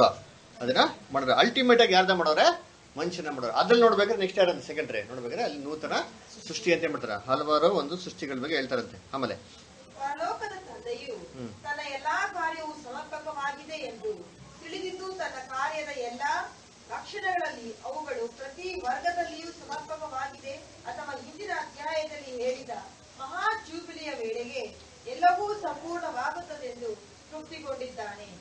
ಹಾಗಾದರೆ ಈ ವಿವಿಧ ವರ್ಗಗಳ ರಚನೆಯು ಸೃಷ್ಟಿಕರ್ತನ ಪಾಲಿಗೆ ಅತೃಪ್ತಿಯನ್ನು ಸೂಚಿಸುವುದಾಗಿದೆ ಮತ್ತು ಇದು ಇನ್ನೂ ಉತ್ತಮವಾದವುಗಳನ್ನು ಮಾಡುವ ಪ್ರಯತ್ನವೆಂದು ತಪ್ಪಾಗಿ ತಿಳಿಯಬಾರದು. ಬದಲಾಗಿ ನಾವಿಲ್ಲಿ ದೇವರ ನಾನಾ ಬಗೆಯ ಜ್ಞಾನದ ದೃಷ್ಟಾಂತವನ್ನು ಕಾಣುವವರಾಗಿದ್ದೇವೆ. ಅದೇ ದೇವರು ಇಷ್ಟೊಂದು ಸೃಷ್ಟಿಗಳು ಏನ್ ಕಪ್ಪ ಮಾಡಿದ್ದಾರೆ ನೋಡ್ಬೇಕಾದ್ರೆ ಏನಪ್ಪ ದೇವರು ಒಂದು ಸೃಷ್ಟಿ ಮಾಡಿದ್ರು, ಅಯ್ಯೋ, ಅದು ಆಮೇಲೆ ಹೆಚ್ಚಾಯ್ ಚೆನ್ನಾಗಿಲ್ಲ, ಬೇಜಾರಾಗೋಯ್ತು, ಇದು ಮಾಡಿದ ಮಿಸ್ಟೇಕ್ ಆಗುತ್ತೆ ಬಿಟ್ಟು ದೇವ್ರು ಇನ್ನೊಂದು ಸೃಷ್ಟಿ ಮಾಡಿದ್ರ? ಅಂತ ಒಂದು ಕ್ವಶನ್ ಆಗ್ತಾ ಬಿಡ್ತಾರೆ ಅಸಲ್ ಅದ್ರ ಎಕ್ಸಾಂಪಲ್ ನೋಡ್ಬೇಕಾದ್ರೆ ಹೇಳಿದ್ರ.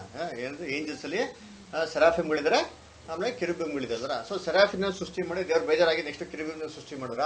ಅಂತಂದ್ರೆ ಇಲ್ಲ ಅಂತ ಹಾಗಂದ್ರೆ ದೇವರು ತನ್ನ ಅತಿಶಯವಂತ ಗುಣಲಕ್ಷಣಗಳನ್ನ ವ್ಯಕ್ತಪಡಿಸೋದಕ್ಕೋಸ್ಕರ ದೇವರು ತನ್ನ ಅಂತ ಮುಖ್ಯವಾಗಿ ಪ್ರೀತಿನ ವ್ಯಕ್ತಪಡಿಸೋದಕ್ಕೋಸ್ಕರ ಮಾಡೋರೆ ಇವೆಲ್ಲ ಸೃಷ್ಟಿಗಳನ್ನ ಮಾಡೋರೆ ಅಂತ ಹೇಳ್ತಾರೆ. ಅದೇ ಹೇಳ್ಬೇಕಂದ್ರೆ ಯಾರ ಕೇಳ್ತಾರೆ ಏನಂದ್ರೆ ಏನಕ್ಕಪ್ಪ ದೇವ್ರ ಮನುಷ್ಯನ ಸೃಷ್ಟಿ ಮಾಡ್ಬೇಕಾಯ್ತು? ಆ ಪಾಪ ಮಾಡ್ತಾ ಗೊತ್ತಲ್ಲ, ಮಾಡದೇ ಇದ್ದ ತಪ್ಪಿದ್ರೆ ಹೆಂಗಿರೋದು ಎಲ್ಲ ಚೆನ್ನಾಗಿರೋದು ಏನಕ್ಕೆ ಮಾಡೋದಂದ್ರೆ, ಅದು ದೇವರಲ್ಲಿ ಅಂತ ಒಂದು ಪ್ರೀತಿ. ಅದರ ದೇವರು ಒಂದು ಪ್ರೀತಿಯನ್ನು ಹೆಂಗ್ ವ್ಯಕ್ತಪಡಿಸೋರು ಅಂತಂದ್ರೆ, ತಂದೆ ಆದಂತ ಒಂದು ಏನಿರ್ಬೇಕು ಒಂದು ಒಂದು ಫ್ಯಾಮಿಲಿ ಇರಬೇಕು. ತಂದೆ ಆದಂತ ಒಂದು ಒಂದು ಕುಟುಂಬ ಇರಬೇಕು. ಆ ತಂದೆ ಆದಂತ ಒಂದು ಜೀವ- ಜೀವಿಗಳು ಅವ್ರಿಗೆ ಏನ್ ಮಾಡ್ಬೇಕು? ಒಂದು ರೆಸ್ಪೆಕ್ಟ್ ಕೊಡಬೇಕು, ಅವ್ರನ್ನ ಗೌರವಿಸ್ಬೇಕು ಅಂದ್ಬಿಟ್ಟು ಏನಿದೆ ದೇವ್ರಲ್ಲಿ ಏನಿದೆ ಒಂದು ಪ್ರೀತಿ ಇದೆ. ಆ ಪ್ರೀತಿ ಏನ್ ಮಾಡಿದ್ರೆ ಯಾವಾಗ ಸದಾ ಕಾಲ ಕೊಡೋಂತ ಒಂದು ಗುಣ ಆಗಿರೋದ್ರಿಂದ, ಈ ಒಂದು ಪ್ರೀತಿನ ದೇವ್ರ ಏನ್ ಮಾಡಿದ್ರು? ಇವನ್ನೆಲ್ಲಾನು ಸೃಷ್ಟಿ ಮಾಡಿದ್ರು ಅಂತ ಹೇಳ್ತಾರೆ. ಅಂದ್ರೆ ದೇವ್ರು ಯಾವ್ದೋ ನೇಚರ್ನ ಡಿಸ್ಸ್ಯಾಟಿಸ್ಫೈ ಆಗಿ, ಅಥವಾ ಬೇಜಾರಾಗಿ, ಅಯ್ಯೋ, ಇದು ಸಾಲಲ್ಲ ಅಂತ ಇನ್ನೊಂದು ಮಾಡಿಲ್ಲ. ಅದರಲ್ಲೇ ಇದೆ ಒಂದೊಂದು? ಅದರಲ್ಲೇ ಒಂದೊಂದು ಜ್ಞಾನ ಇದೆ. ಅದ್ರಲ್ಲಿ ಒಂದೊಂದಲ್ಲೇ ಏನ್ ಮಾಡೋದು ದೇವ್ರ ತನ್ನ ಪ್ರೀತಿಗಳನ್ನ ವ್ಯಕ್ತಪಡಿಸೋರೆ ಅಂತ ಹೇಳ್ತಾರೆ. ಉದಾಹರಣೆಗೇನು ನೆಕ್ಸ್ಟ್ ಹೇಳ್ತಾರೆ ಹಾ. ಪ್ರಕೃತಿಯಲ್ಲಿ ನಾವು ವಿವಿಧ ಬಗೆಯ ಹೂಗಳು. ಹುಲ್ಲುಗಳು ಮರಗಳು ಮತ್ತು ವಿವಿಧ ಬಗೆಯ ಪ್ರಾಣಿಗಳು ಇವುಗಳು ಇದಕ್ಕೆ ಉದಾಹರಣೆಗಳಾಗಿವೆ. ನೋಡು ಅದಕ್ಕೆ ವಿಧ ವಿಧವಾದಂತ ಒಂದು ಮರಗಳು ಗಿಡಗಳು ಪ್ರಾಣಿಗಳೇ ಇದ್ದೇವಲ್ಲ. ಅದು ಉದಾಹರಣೆ ಆಗಿದೆ ಎಕ್ಸಾಂಪಲ್ ಯೋಚನೆ ಮಾಡಿದ್ರೆ ಬರೀ ಒಂದೇ ಮರ ಇದ್ರೆ ಹೆಂಗಿರೋದು? ಎಷ್ಟು ಬೇಜಾರಾಗಿರೋದು? ಅಥವಾ ಒಂದೇ ಒಂದು ಗಿಡ ಇದ್ರೆ ಹೆಂಗಿರೋದು? ತರಕಾರಿ ಕೂಡ ತಿನ್ನೋದಕ್ಕೆ ಒಂದೇ ಒಂದೇ ತರಕಾರಿ ಕೊಟ್ಟಿದ್ರೆ ಹಿಂಗಿರೋದು? ಎಂತೆಲ್ಲ ಫೆಡ್ ಮಾಡ್ಬಿಟ್ಟಿರೋದೇನೋ ಅಂದ್ರೆ ಆಮೇಲೆ ಮಾರ್ಕೆಟ್ ವ್ಯಾಲ್ಯೂ ಕೂಡ ಇರ್ತಾ ಇಲ್ಲ ಅಂದ್ರೆ ಏನಂತ? ದಿನ ಅದೇ ತಿನ್ನಿ ತಿಂದು ಏನಾಗಿರೋದು? ಬೇಜಾರಾಗಿರ್ತದೆ ಏನು ಎಕ್ಸಾಂಪಲ್ ಹೇಳ್ಬೇಕಂದ್ರೆ, ಇವಾಗ ಫಾರಿಂಗ್ ಗೀರಿಂಗ್ ಎಲ್ಲ ಹೋದ್ರೆ ಒಂದೇ ಊಟ, ಮೂರೊತ್ತು ಬ್ರೆಡ್ ಅದರ, ಅದು ಬಿಟ್ಟರೆ ಏನಿಲ್ಲ. ಆ ಬ್ರೆಡ್ಡಲ್ಲಿ ಏನೋ ಎರಡು, ಮೂರು ವೆರೈಟಿಗಳು ಅಲ್ವರ? ಸೊ ತಿಂದು ತಿಂದು ಏನಾಗ್ಬಿಡ್ತದೆ ಅಂದ್ರೆ ನಮಗೆ ಏನಾಗ್ಬಿಡ್ತದೆ? ಬೇಜಾರಾಗ್ಬಿಡ್ತದೆ. ಬೇರೆ ತರಕಾರಿಗಳು ಸಿಕ್ಕಲ್ಲ. ಅದರ ನಮ್ಗಿರತ್ತ ಈ ಥರ ಇಷ್ಟೊಂದು ವೆರೈಟಿ ವೆರೈಟಿ ತರಕಾರಿ, ಸೊಪ್ಪು, ಗಿಪ್ಪಲ್ಲ ಏನಿಲ್ಲ. ಅದೆಲ್ಲ ಅಲ್ಲ ಏನೂ ಇಲ್ಲ. ಸೊ ಆ ರೀತಿ ಹೊಡ್ಬೇಕಾದ್ರೆ ಅದು ಅವ್ರ ಸುಟ್ಟೆ ಬಂದ್ಬಿಡ್ರಿ. ಅವ್ರಿಗಿರೋಂಥ ವಾತಾವರಣಕ್ಕೆ ಏನಾಗ್ಬಿಡ್ತದೆ ಅದು? ಅದು ಸೆಟ್ ಆಗ್ಬಿಟ್ಟಿದೆ, ಅದರ. ಸೊ ಇವಾಗ ನಮ್ಗೇನಾಗಲ್ಲ ಅದು?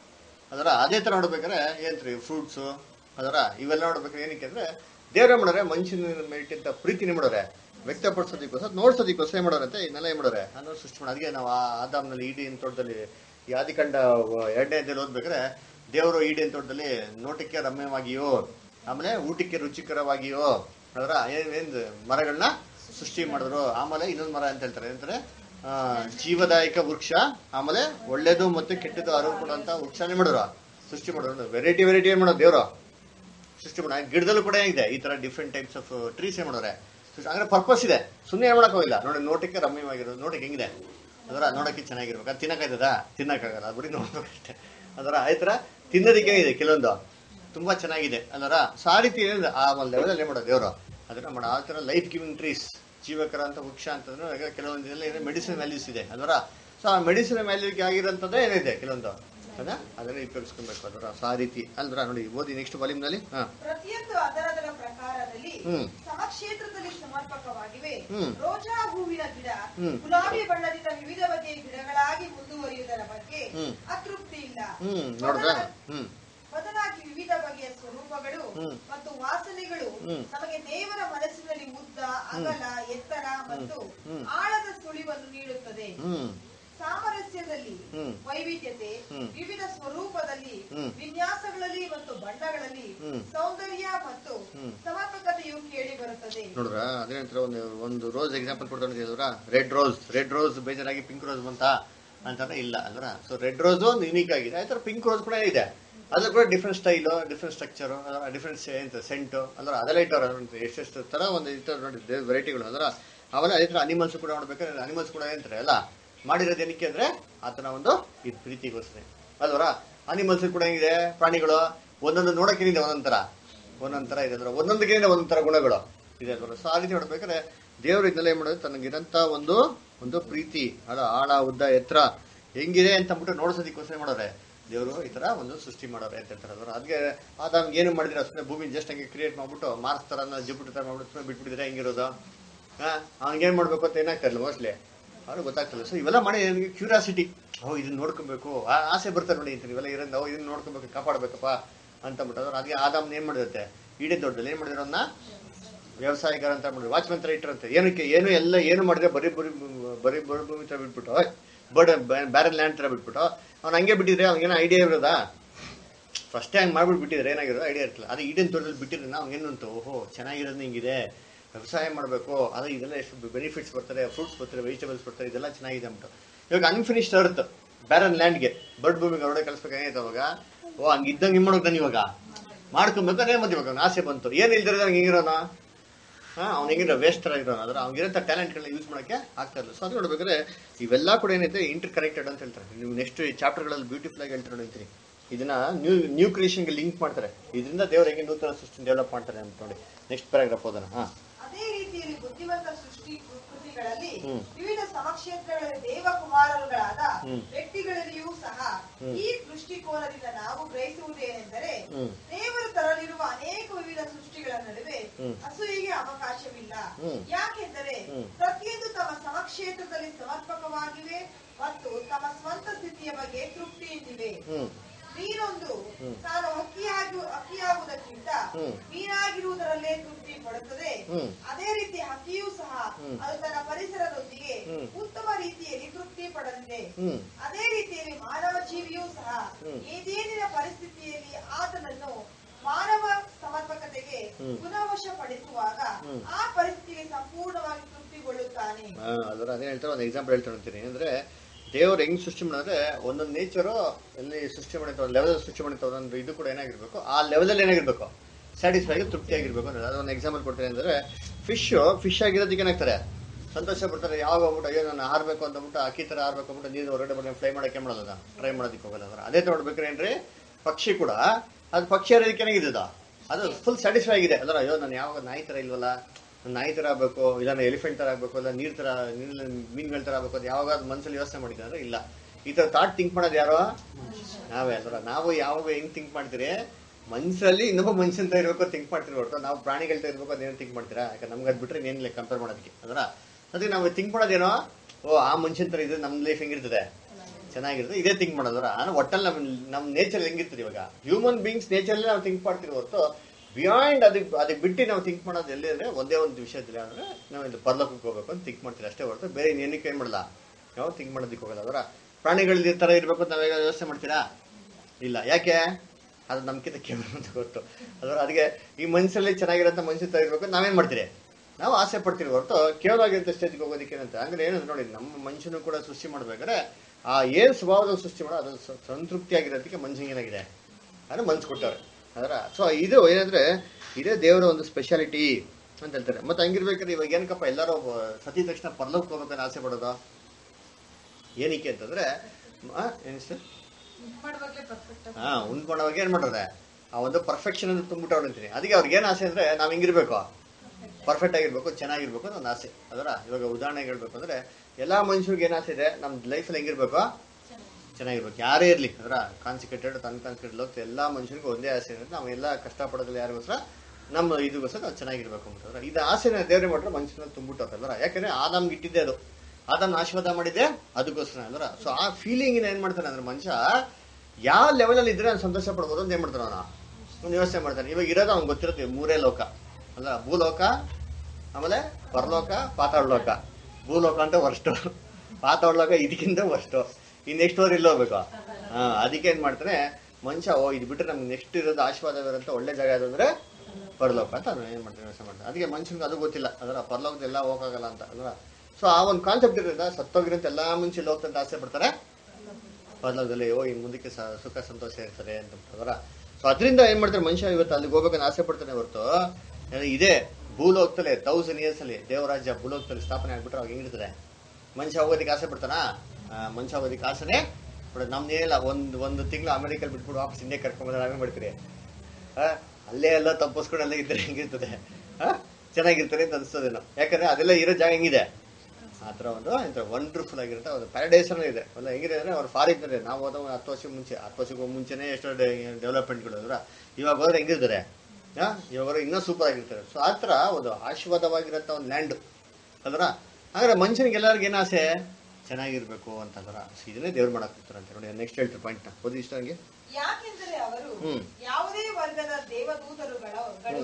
ದುರಾಸೆ ಪಡುವವರಲ್ಲ ಅಥವಾ ಅವರು ನೂತನ ಸೃಷ್ಟಿಗೆ ದಯಪಾಲಿಸಿರುವ ಹ್ಮ್. ದೈವ ಸ್ವಭಾವವೆಂಬ ಅತ್ಯುತ್ತಮ ಸ್ವಭಾವವನ್ನು ಆಶಿಸುವವರಲ್ಲ ಹ್ಮ್ ದೇವದೂತರುಗಳು ಸಹ ಹ್ಮ್. ಕೆರೋಬಿಯರ ಸೆರಾಫಿಯರ ಮತ್ತು ಹ್ಮ್. ಮಾನವರ ಸ್ವಭಾವ ಮತ್ತು ಸ್ಥಿತಿಯನ್ನು ಆಶಿಸುವವರಲ್ಲ ಹ್ಮ್ ಪ್ರತಿಯೊಬ್ಬರು ಅಂತಿಮವಾಗಿ ದೈವ ಸ್ವಭಾವವು ಹ್ಮ್. ಎಲ್ಲದಕ್ಕಿಂತ ಹೆಚ್ಚಾದುದೆಂದು ಹ್ಮ್. ಅರಿತುಕೊಳ್ಳುತ್ತಾರೆ ಹ್ಮ್ ಯಾಕೆಂದರೆ ಅದರಲ್ಲಿ ಎಲ್ಲಾ ಸ್ವಭಾವಗಳನ್ನು ಮೀರಿಸುವ ಹ್ಮ್. ಗುಣಲಕ್ಷಣಗಳು ಪರಿಸ್ಥಿತಿಗಳು ಅವೆ ಹ್ಮ್. ಆದಾಗ್ಯೂ ದೇವರ ವ್ಯವಸ್ಥೆಯಲ್ಲಿ ಹ್ಮ್. ಪ್ರತಿಯೊಂದು ಸ್ವಭಾವವು ತನ್ನದೇ ಆದ ಪರಿಸ್ಥಿತಿ ಮತ್ತು ಹ್ಮ್. ಪರಿಸರಕ್ಕೆ ಪರಿಸರಕ್ಕೆ ಸಮಗ್ರವಾಗಿ ಸ್ವೀಕೃತಿಗೊಂಡಿವೆ ಮತ್ತು ತನ್ನ ಸ್ಥಿತಿಯಲ್ಲಿ ತೃಪ್ತಿಯಿಂದಿದೆ ಹ್ಮ್ ಮುಗಿದೈತೆ ಪ್ಯಾರಾಗ್ರಾಫ್ ಪ್ಯಾರಾಗ್ರಾಫ್ ಮುಗಿದೈತಲ್ಲ? ಸರಿ ಅದಕ್ಕೆ ಹೇಳ್ತಾರೆ ಅಂದ್ರೆ, ಏನ್ರಿ ಫ್ಯೂಚರ್ ಅಲ್ಲಿ ಅದರ ದೇವರ ತನ್ನ ರಾಜ್ಯನ ಸ್ಥಾಪನೆ ಮಾಡ್ಬೇಕಾದ್ರೆ ಎಲ್ಲಾ ಹಂತದಲ್ಲಿರೋಂಥ ಎಲ್ಲಾ ಸೃಷ್ಟಿಗಳು ಅದೆಲ್ಲ ಏನಿರ್ತಾರೆ ಸ್ಯಾಟಿಸ್ಫೈ ಆಗಿರ್ತಾರೆ ಭೂಲೋಕದಲ್ಲಿ ಹೆಂಗಿರ್ತಾರೆ? ದೇವರಾಜನೇ ಭೂಲೋಕದಲ್ಲಿ ಇರ್ಬೇಕಾದ್ರೆ, ಹೇಳ್ತಾರೆ ದೇವರ ನಿವಾಸ ಮನುಷ್ಯನ ನಡುವೆ ಇದೆ ಅಂತ ಹೇಳ್ಬೇಕಾದ್ರೆ ಅವಾಗ ಯಾರು ಹೋಗ್ಬಿಟ್ಟು ಪರಲೋಕ ಹೋಗುವಂತ ಒಂದು ಆಸೆನೇ ಪಡೆದಿಲ್ಲ. ಭೂಲೋಕನೇ ಪ್ಯಾರಡೈಸ್ ತೊಡೋ ತರ ಇತ್ತಂದ್ರೆ ಯಾರಪ್ಪ ಇಲ್ಲ ತಪ್ಪಿಸ್ಕೊಂಡು ಹೋಗೋದಕ್ಕೆ ಆಸೆ ಪಡ್ತಾರೆ, ವ್ಯವಸ್ಥೆ ಮಾಡಿ ಅಂತೇಳಿದ್ರ ಎಕ್ಸಾಂಪಲ್ ಹೇಳ್ಬೇಕಾದ್ರೆ, ನಮಗೆ ದೇವರು ಎಲ್ಲ ಆಶೀರ್ವಾದ ಮಾಡಿ ಎಲ್ಲ ಕೊಟ್ಟಿದ್ದಾರೆ, ನಾವೆಲ್ಲ ಸತಿ ಬಂದಿದ್ದೀರ ನಾವೆಲ್ಲ ಏನ್ ಮಾಡ್ತಾ ಇದ್ರೆ ಚೆನ್ನಾಗೇ ಇದ್ದೀರಪ್ಪ ಇನ್ನೇನಕ್ಕೆ ತೊಂದರೆ ತಗೊಬೇಕು? ನಾವೇನು ಮಾಡ್ತಾರೆ? ರಿಲ್ಯಾಕ್ಸ್ ಆಗಿ ಆರಾಮಾಗಿ ಮಾಡ್ತೀವಿ ಒಳ್ಳೆಗೆ ಏನು ಇದ್ರೆ ಅದನ್ನ ಸದ್ಯಕ್ಕೆ ಅದಕ್ಕೆ ದೇವ್ರೇ ಮಾಡಿದ್ರು ಇದನ್ನೆಲ್ಲ ಕೊಟ್ಟಿರ್ತೀನಿ ಅಂದ್ರೆ ಅಲ್ಲಿಗೆ ಕರ್ಸೋದಿಕ್ಕೆ ಅದ್ರ ಅದಕ್ಕೆ ಇನ್ನೊಂದು ಹೇಳ್ತಾರೆ ಅಂದರೆ ಈವನ್ ಇದು ಹ್ಯೂಮನ್ ನೇಚರ್ ಮಾತ್ರ ಅಂತೆ ಈವನ್ ಏಂಜಲಿಕ್ ನೇಚರಲ್ಲೂ ಕೂಡ ಎಲ್ಲರೂ ಏಂಜಲ್ಸ್ ಏನಾಗಿರ್ತಂತೆ ಅವ್ರು ಇದರಲ್ಲಿ ಸ್ಯಾಟಿಸ್ಫೈ ಯಾಕಂದ್ರೆ ಅವ್ರಿಗೆ ಗೊತ್ತಿಲ್ಲ. ಚೇತನ್ ಏನ್ ಮಾಡ್ತಾ ಇದೀವಿ ನಾವೆಲ್ಲ ಇನ್ನೊಂದು ಕಡೆ ಓದಲ್ಲ. ಅಲ್ಲಿ ಓದ್ಬೇಕಾದ್ರೆ ಏನಂತಾರೆ ನಮ್ಮ ಅಡ್ವರ್ಸರಿ ಅಂತ ಬಿಟ್ರೆ ನಮ್ಮ ಶತ್ರು ಆಗಿರೋಂಥ ಸೇತನ್ ಬಗ್ಗೆ ಓದ್ಬೇಕಾದ್ರೆ ಸಿಕ್ಸ್ ಫೋರ್ ಹೇಳ್ತಾರಲ್ಲ, ಸೇತನ ಹೆಂಗೆ ಯಾಮಾರಿಸಿರ್ಬೋದು, ಬಿದ್ದೋಗಿರೋ ದೂತರುಗಳನ್ನ ಅದರ ಬಿದ್ದ ದೂತ್ರಗಳನ್ನ ಯಾವ ಥರ ಯಾಮಾರಿಸಿ ಬಿದ್ದೋಗಿ ಉತ್ತರ ಮಾಡಿರ್ಬೋದು ಅಂತಂದ್ರೆ ಸೇತನ ಅವರಲ್ಲೇ ಮಾಡ್ತಾರೆ ಮಾಡ್ತಾರೆ ಕಾನ್ಸೆಪ್ಟ್ ತುಂಬಿಡ್ತಾರೆ ಇವಾಗ ನೀನು ಹೋಗ್ಬೋದಪ್ಪ ಅಟ್ಲೀಸ್ಟ್ ಮನುಷ್ಯ ಪಾಪದ ಬಿದ್ದೋಗ್ಬಿಟ್ಟಾರೆ ನಾನಂತೂ ಇವಾಗ ಏನು ಮಾಡೋಕ್ಕಾಗಲ್ಲ ಹೆಲ್ಪ್ ಮಾಡೋದಕ್ಕಾಗಲ್ಲ ಇಂಪರ್ಫೆಕ್ಷನ್ ಆಗಿಬಿಟ್ಟಿದ್ದಾರೆ. ನೀವು ಹೋಗಿ ಅದ್ರ ಸಂಬಂಧ ಇಟ್ಕೊಂಡ್ರೆ ನಿಮ್ಮ ಮುಖಾಂತರ ಮಾಡ್ತಾರೆ ಪರ್ಫೆಕ್ಷನ್ ಜನರೇಷನ್ ನೀವು ಉತ್ಪನ್ನ ಮಾಡ್ಬೋದಲ್ಲ ಅಂತ ಏನು ಮಾಡ್ತಾರೆ, ಈ ಒಂದು ಐಡಿಯಾ ತುಂಬಿರ್ಬೇಕಾದ್ರೆ ಪಾಪ ಅವ್ರಿಗೂ ಗೊತ್ತಿಲ್ಲ. ಅಂದ್ರೆ ಏನು ಅವರು ಪಾಪ ಏನಿಲ್ಲ ಎಕ್ಸ್ಪೀರಿಯನ್ಸ್ ಇಲ್ಲ. ಅದಂತ ಅದಕ್ಕೆ ಮಾಡೋರೆ? ಅವರು ಕೂಡ ಅನುಭವಿಸಿದ ಮೇಲೆ ಅವ್ರಿಗೆ ಏನಾಗುತ್ತೆ ಇವಾಗ? ಓಹೋ, ಇಲ್ಲಪ್ಪ, ಓ, ದೇವ್ರು ಹೆಂಗಿದ್ದಾರೆ ಇವಾಗ? ಪರ್ಫೆಕ್ಟ್ ಆಗಿದ್ರೆ ಆಗ ನಮ್ನ ಅಲ್ಲಿ ಇಟ್ಟಿರೋದೇ ಸರಿಯೇ. ನಮ್ನ ಏನ್ ಮಾಡಕ್ ಹೋಗ್ಬಿಡ್ತೀವಿ ಇವಾಗ ನಾವು? ಅತಿಯಾಗಿ ಅತಿಯಾಗಿ ಅಲ್ಲಿರ್ಬೇಕು, ಇಲ್ಲಿರ್ಬೇಕು ಅಂತ ನಾವು ಆಸೆ ಪಡಕ್ ಅವ್ರಿಗೆ ಆಗ್ತಾರೆ ಮೋಸ್ಟ್ಲಿ ಅವರು ರಿಲೀಸ್ ಮಾಡ್ಕೊಂಡು ಇದೇ ತರ ಒಂದೊಂದು ಸೃಷ್ಟಿಗಳು ಕೂಡ ಇರ್ತಾರಲ್ಲ ಎಲ್ಲ. ಅವಾಗ ಏನ್ ರಿಲೀಸ್ ಮಾಡ್ಕೊಂಡ್ರೆ highest of all the natures ಯಾವ್ದು ಅಂದ್ರೆ ದೈವಿಕ ಸ್ವಭಾವ. ಅದೇ ಎಲ್ಲಾ ಉನ್ನತವಾದಂತ ನೇಚರ್ ಅಂತ ಎಲ್ಲರಿಗೂ ಮಾಡ್ತಾರೆ ದೇವರು? ಏನು ತಿಳಿಸ್ತಾರೆ ಅಂತ ಹೇಳ್ತಾರೆ. ನಾವು ನೋಡಿ ನೆಕ್ಸ್ಟ್ ಪ್ಯಾರಾಗ್ರಾಫ್ ಓದಿ. ಸೃಷ್ಟಿಯನ್ನು ದೈವ ಸ್ವಭಾವದ ಪಾಲುದಾರರನ್ನು ಆತನ ಸ್ವಂತ ಪ್ರಭಾವ ಮಾನ ಮತ್ತು ನಿರ್ಲಯತ್ವಗಳ ಪಾಲುದಾರರನ್ನು ಉದ್ದೇಶಿಸಿದಾಗ ಯಾರಿಗೂ ಅತಿ ಎತ್ತರದ ಸ್ಥಾನ ನೀಡಿ ನಂತರ ಅವರನ್ನು ಪರೀಕ್ಷೆಗೊಳಪಡಿಸದಿರಲು. ಇದರ ವ್ಯತಿರಿಕ್ತವಾಗಿ. ಯಾರು ಈ ನೂತನ ಸೃಷ್ಟಿಯ ಸದಸ್ಯತ್ವಕ್ಕೆ ಒಳಪಡಬೇಕಾಗಿದೆಯೋ ಅವರು ತಮ್ಮನ್ನು ದೈವ ಸ್ವಭಾವದ ಈ ನೂತನ ಸೃಷ್ಟಿಯ ಶ್ರೇಷ್ಠ ಅವಸ್ಥೆಗೆ ಮೇಲೆತ್ತುವ ಮೊದಲೇ. ಪರೀಕ್ಷೆಗೆ ಒಳಪಡಬೇಕು ಮತ್ತು ತಮ್ಮ ಸೃಷ್ಟಿಕರ್ತನಿಗೆ ಮತ್ತು ತನ್ನ ನೈತಿಕ ಅಧಿಕಾರಕ್ಕೆ ಹೆಚ್ಚಿನ ನಿರಪೇಕ್ಷತೆಯಿಂದ ನಿರಪೇಕ್ಷತೆಯಿಂದ ನಿರ- ನಿರಪೇಕ್ಷತೆಯಿಂದೊಡಗೂಡಿದ ನಿಷ್ಠೆಯನ್ನು ಸಾಬೀತುಪಡಿಸಬೇಕಾಗುತ್ತದೆ ಎಂದು ನಿರ್ಧರಿಸಿದನು. ಅದೇ ನೋಡಿ ಏನ್ ಹೇಳ್ತಂದ್ರೆ ಇವಾಗ ನೆಕ್ಸ್ಟ್ ದೇವರೇ ಮಾಡೋದು? ಇವಾಗ ಇದು ಈ ಒಂದು ಇಷ್ಟೊಂದು ವಿಭಿನ್ನವಾದ ಕ್ರಿಯೇಷನ್ ದೇವರೇ ಮಾಡೋದು ಇವಾಗ? ಮನುಷ್ಯರಲ್ಲಿ ಕೆಲವೊಂದು ಕ್ಯಾಟಗರಿ ಪೀಪಲ್ ಏನ್ ತಗೊಂಡೋಗ್ತೀನಿ ಅಂತ ಹೇಳಿದ್ರೆ ಒಂದು ನ್ಯೂ ಕ್ರಿಯೇಷನ್ ಆಗಿ, ಅಂದ್ರೆ ನ್ಯೂ ಕ್ರಿಯೇಷನ್ ಯಾರೋ? ಅದರ ಏನಂದ್ರೆ lakh and forty thousand overcomers ದೈವಿಕ ಸಭದಲ್ಲಿಂತ ಒಂದು ಸೃಷ್ಟಿಗೆ ಹೇಳಿದ್ರು ನ್ಯೂ ಕ್ರಿಯೇಷನ್ ಅಂತ ಹೇಳೋದು ಅಂದ್ರೆ ಬೈಬಲ್ನಲ್ಲಿ. ಸೊ ಅಂತ ಒಂದು ಸೃಷ್ಟಿನ ದೇವ್ರ ಸೃಷ್ಟಿ ಮಾಡ್ಬೇಕಾದ್ರೆ ಏನಪ್ಪ ಮಾಡಿದ್ರು ಅಂತಂದ್ರೆ, ಇಷ್ಟೊಂದು ಎಲ್ಲ ಸೃಷ್ಟಿಗಳು ಮಾಡಲ್ಲ ಆ ಥರ ಮಾಡಬೇಕು ಅಂತ ದೇವ್ರ ಮಾಡಕ್ ಹೋಗಿಲ್ಲ ಡಿಸೈಡ್ ಮಾಡಕ್ ಹೋಗಿಲ್ಲ ಅಂತ ಹೇಳ್ತಾರೆ. ಉದಾಹರಣೆಗೆ ಏನು ಏನು ವ್ಯತ್ಯಾಸ ಅಂದ್ರೆ, ಇವಾಗ ಆಧಾರನ ಸೃಷ್ಟಿ ಮಾಡಿದ್ರು ಕಿರುಬುಗಳನ್ನ ಸೃಷ್ಟಿ ಮಾಡಿದ್ರು ಆಮೇಲೆ ಶರಾಫಿಮ್ಗಳನ್ನ ಸೃಷ್ಟಿ ಮಾಡಿದ್ರು ಆಮೇಲೆ ಪ್ರಾಣಿಗಳನ್ನ ಸೃಷ್ಟಿ ಮಾಡಿದ್ರು. ಇವನ್ನೆಲ್ಲ ಹೆಂಗ್ ಸೃಷ್ಟಿ ಮಾಡಿದ್ರೆ ತನ್ನ ತನ್ನ ಸ್ವಂತ ನೇಚರ್ ಅಲ್ಲಿ ಸೃಷ್ಟಿ ಮಾಡ್ಬಿಟ್ರು. ಆಮೇಲೆ ಏನ್ ಮಾಡೋರು ಅವ್ರಿಗೆ ಟೆಸ್ಟ್ ಅಂತ ಏನ್ ಮಾಡಿದ್ರು? ಕೊಟ್ರು. ಆ ಟೆಸ್ಟ್ ಅಲ್ಲಿ ಏನಾದ್ರು ಇವ್ರು ಫೇಲಿಯರ್ ಆಗ್ಬಿಟ್ಟದ್ರ ಇದೇ ತರ ಕಾನ್ಸೆಪ್ಟ್ ನೂತನ ಸೃಷ್ಟಿಯಲ್ಲಿ ಮಾಡೋದಕ್ಕೆ ದೇವರೇ ಮಾಡಕ್ ಹೋಗಿಲ್ಲ. ಪ್ಲಾನು ಮಾಡಲಿಲ್ಲ ಅಂತ. ಅಂದ್ರೆ ಅವನ್ನ ಸೃಷ್ಟಿ ಮಾಡಿ, ಆ ಲೆವೆಲ್ ಸೃಷ್ಟಿ ಮಾಡಿ, ಆನಂತರ ಅವ್ರಿಗೆ ಟೆಸ್ಟ್ ಕೊಡಬೇಕು ಅಂತ ದೇವರೇ ಮಾಡಕ್ ಹೋಗಿಲ್ಲ. ಡಿಸಿಷನ್ ಮಾಡ್ಲಿಲ್ಲ ಅಂತ ಹೇಳ್ತಾರೆ. ಏನಕ್ಕಪ್ಪ? ಏನಕ್ಕೆ? ಏನಕ್ಕೆ ವ್ಯತ್ಯಾಸ? ಅದು ನೆಕ್ಸ್ಟ್ ಹೇಳ್ತೇವೆ ಏನಕ್ಕೆ ಅಂತ ಹೇಳ್ತಾರೆ ಹಾ. ಯಾವ ರೀತಿಯಲ್ಲಿ ನಿತ್ಯ ಜೀವಕ್ಕೆ ಬಾಧ್ಯರಾಗುವಂತೆ ಶೋಧನೆ ಮತ್ತು ಪರೀಕ್ಷೆಗಳು ಯಾವ ರೀತಿಯಲ್ಲಿ ವ್ಯವಸ್ಥೆಗೊಳಿಸಲಾಗಿದೆ ಎಂಬುದನ್ನು ಮಾನವರು ಮಾನವನು ಸೃಷ್ಟಿಗೊಂಡಾಗಿನ ಮೂಲ ಸಮರ್ಪಕತೆ ಆತನ ಪತನ ಆತನ ಉದ್ಧಾರ ಯೋಗ್ಯರೆಂದು ಕಂಡುಬಂದ ಆತನ ಸಂತತಿಯವರ. ಪುನರುತ್ಥಾನ ಮತ್ತು. ಪುನರ್ವಶ ಎಂಬಿತ್ಯಾದಿಗಳನ್ನು. ನಾವು ಈಗ ತಾನೇ ನೋಡಿದ್ದೇವೆ. ದೇವದೂತರುಗಳು ಸಹ ತಮ್ಮ ಸ್ವಭಾವಕ್ಕೆ ತಕ್ಕ. ಪವಿತ್ರತೆ ಮತ್ತು. ಸಮರ್ಪಕತೆಗಳಲ್ಲಿ ಉಂಟು ಉಂಟು ಮಾಡಲ್ಪಟ್ಟರು. ಮತ್ತು ತರುವಾಯ ಅವರುಗಳು. ಅವರುಗಳು ಸಹ ಶೋಧನೆ ಮತ್ತು ಪರೀಕ್ಷೆಗಳಿಗೆ ಒಳಗಾದರು ಎಂಬುದನ್ನು ನಾವು ನೋಡಿದ್ದೇವೆ. ಆದರೆ ದೈವ ಸ್ವಭಾವದ ನೂತನ ಸೃಷ್ಟಿಗಳು ಇಂತಹ ವಿಧಾನವು. ಸಮರ್ಪಕವಾದ ಸೃಷ್ಟಿ ಮತ್ತು. ನಂತರದಲ್ಲಿ ಶೋಧನೆ ಮತ್ತು ಪರೀಕ್ಷೆಗಳು ಅನ್ವಯವಾಗುವುದಿಲ್ಲ. ಯಾಕೆ. ಯಾಕೆಂದರೆ ದೈವ ಸ್ವಭಾವದ ಮುಖ್ಯವಾದ ವಸ್ತು. ಅಮರತ್ವ. ಅಮರತ್ವ ಮತ್ತು ಈ ಪದವು ಸಾವಿಲ್ಲದ ಸ್ಥಿತಿಯನ್ನು ಸೂಚಿಸುತ್ತದೆಂದು ಹ್ಮ್. ನಮಗೆ ತಿಳಿದು ಬರುವಾಗ ನಾವು ಸಿದ್ಧರಾಗಿ ಕಾಣಬಹುದೇ ಬಹುದೇನೆಂದರೆ ದೈವಿಕ ಸಮಕ್ಷೇತ್ರದಲ್ಲಿ. ಸೃಷ್ಟಿಗೊಂಡ ಯಾವ ಜೀವಿಯು. ಅಮರತ್ವ ನಿರ್ಲಯತ್ವಗಳುಳ್ಳದ್ದಾಗಿದ್ದು ಹ್ಮ್. ಕ್ರಮೇಣವಾಗಿ ಶೋಧನೆ ಮತ್ತು ಹ್ಮ್. ಪರೀಕ್ಷೆಗೊಳಪಡಿಸುವುದೇನೆಂದರೆ. ಅವುಗಳು ನಿರಪೇಕ್ಷವಾದ ದೈವ ನಿಷ್ಠೆಯ ಅವಶ್ಯ ಮಟ್ಟ ತಲುಪಲು ವಿಫಲವಾಗಿರುವುದು ಎಂದರ್ಥ.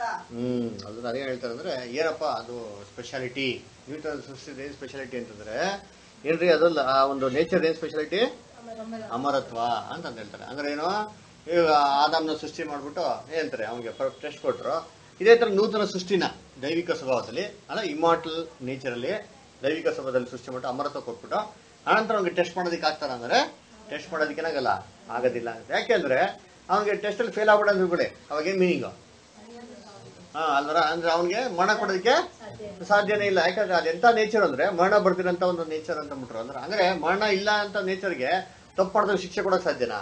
ಶಿಕ್ಷೆ ಕೊಡೋಕೆ ಸಾಧ್ಯನ? ಹಂಗಿರ್ಬೇಕಾದ್ರೆ ಅವನ್ನ ಟೆಸ್ಟ್ ಮಾಡಿದ್ರೆ ಕೊಟ್ಬಿಟ್ಟ ಅಂತಂದ್ರೆ ಅವನು ಫೇತ್ಫುಲ್ನೆಸ್ ದೇವ್ರಿಗೆ ನೋಡ್ಸಿಲ್ಲ ಅಂತ ತಿಳ್ಕೊಳ್ಳಿ ಅವಾಗ ಏನಾಗ್ಬಿಡ್ತದೆ ದೇವ್ರ ಪ್ಲಾನೇ ಏನಂತಾರೆ ಫುಲ್ ಎಡಗಟ್ಟು ಇದು ಮಾಡೋದಕ್ಕೆ ಒಂದೇನಂತಾರೆ ಒಂದು ಒಂದು ಸಾಧ್ಯತೆ. ಅದರ ಏನೋ ಅಪ್ಪಿತಪ್ಪಿ ಏನೋ ಎಲ್ಲ ಚೆನ್ನಾಗಿದ್ಬಿಟ್ರೆ ಓಕೆ ಸಂತೋಷ. ಯಾರೋ ಬೈ ಮಿಸ್ಟೇಕ್ ಏನೋ ಆಗ್ಬಿಟ್ರೆ ಅವಾಗ ಏನಾಗ್ತದೆ? ಅವಾಗ ಹೆಂಗಾಗ್ಬಿಡ್ತ ಅಂದ್ರೆ, ಇವಾಗ ದೇವ್ರ ಪ್ಲಾನ್ ಏನಾಗ್ಬಿಡ್ತ ಅಟ್ರ ಅಟ್ರ ಫ್ಲಾಪ್ ಆಗ್ಬಿಡುತ್ತೆ. ಅದಕ್ಕೆ ನೋಡ್ಬೇಕು, ದೇವ್ರ ಅಂತಂದ್ರೆ, ಯಾರಿಗೂ ಏನ್ ಮಾಡೋದಕ್ಕೆ ಸಾಧ್ಯ ಇಲ್ಲ. ವಿತೌಟ್ ಟೆಸ್ಟ್ ಆ ನೇಚರ್ ಕೊಡೋದಕ್ಕೆ ಸಾಧ್ಯನೇ ಇಲ್ಲ. ಅಂತ ಏನ್ ಮಾಡೋದು ದೇವ್ರು?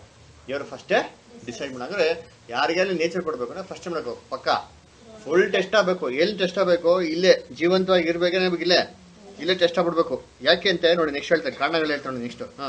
ಅವರು ನಾಶ ಪಡೆದ ಅಮರತ್ವವುಳ್ಳ. ಆಕ್ರಮಣಕಾರಿಗಳಾಗಬಹುದಿತ್ತು.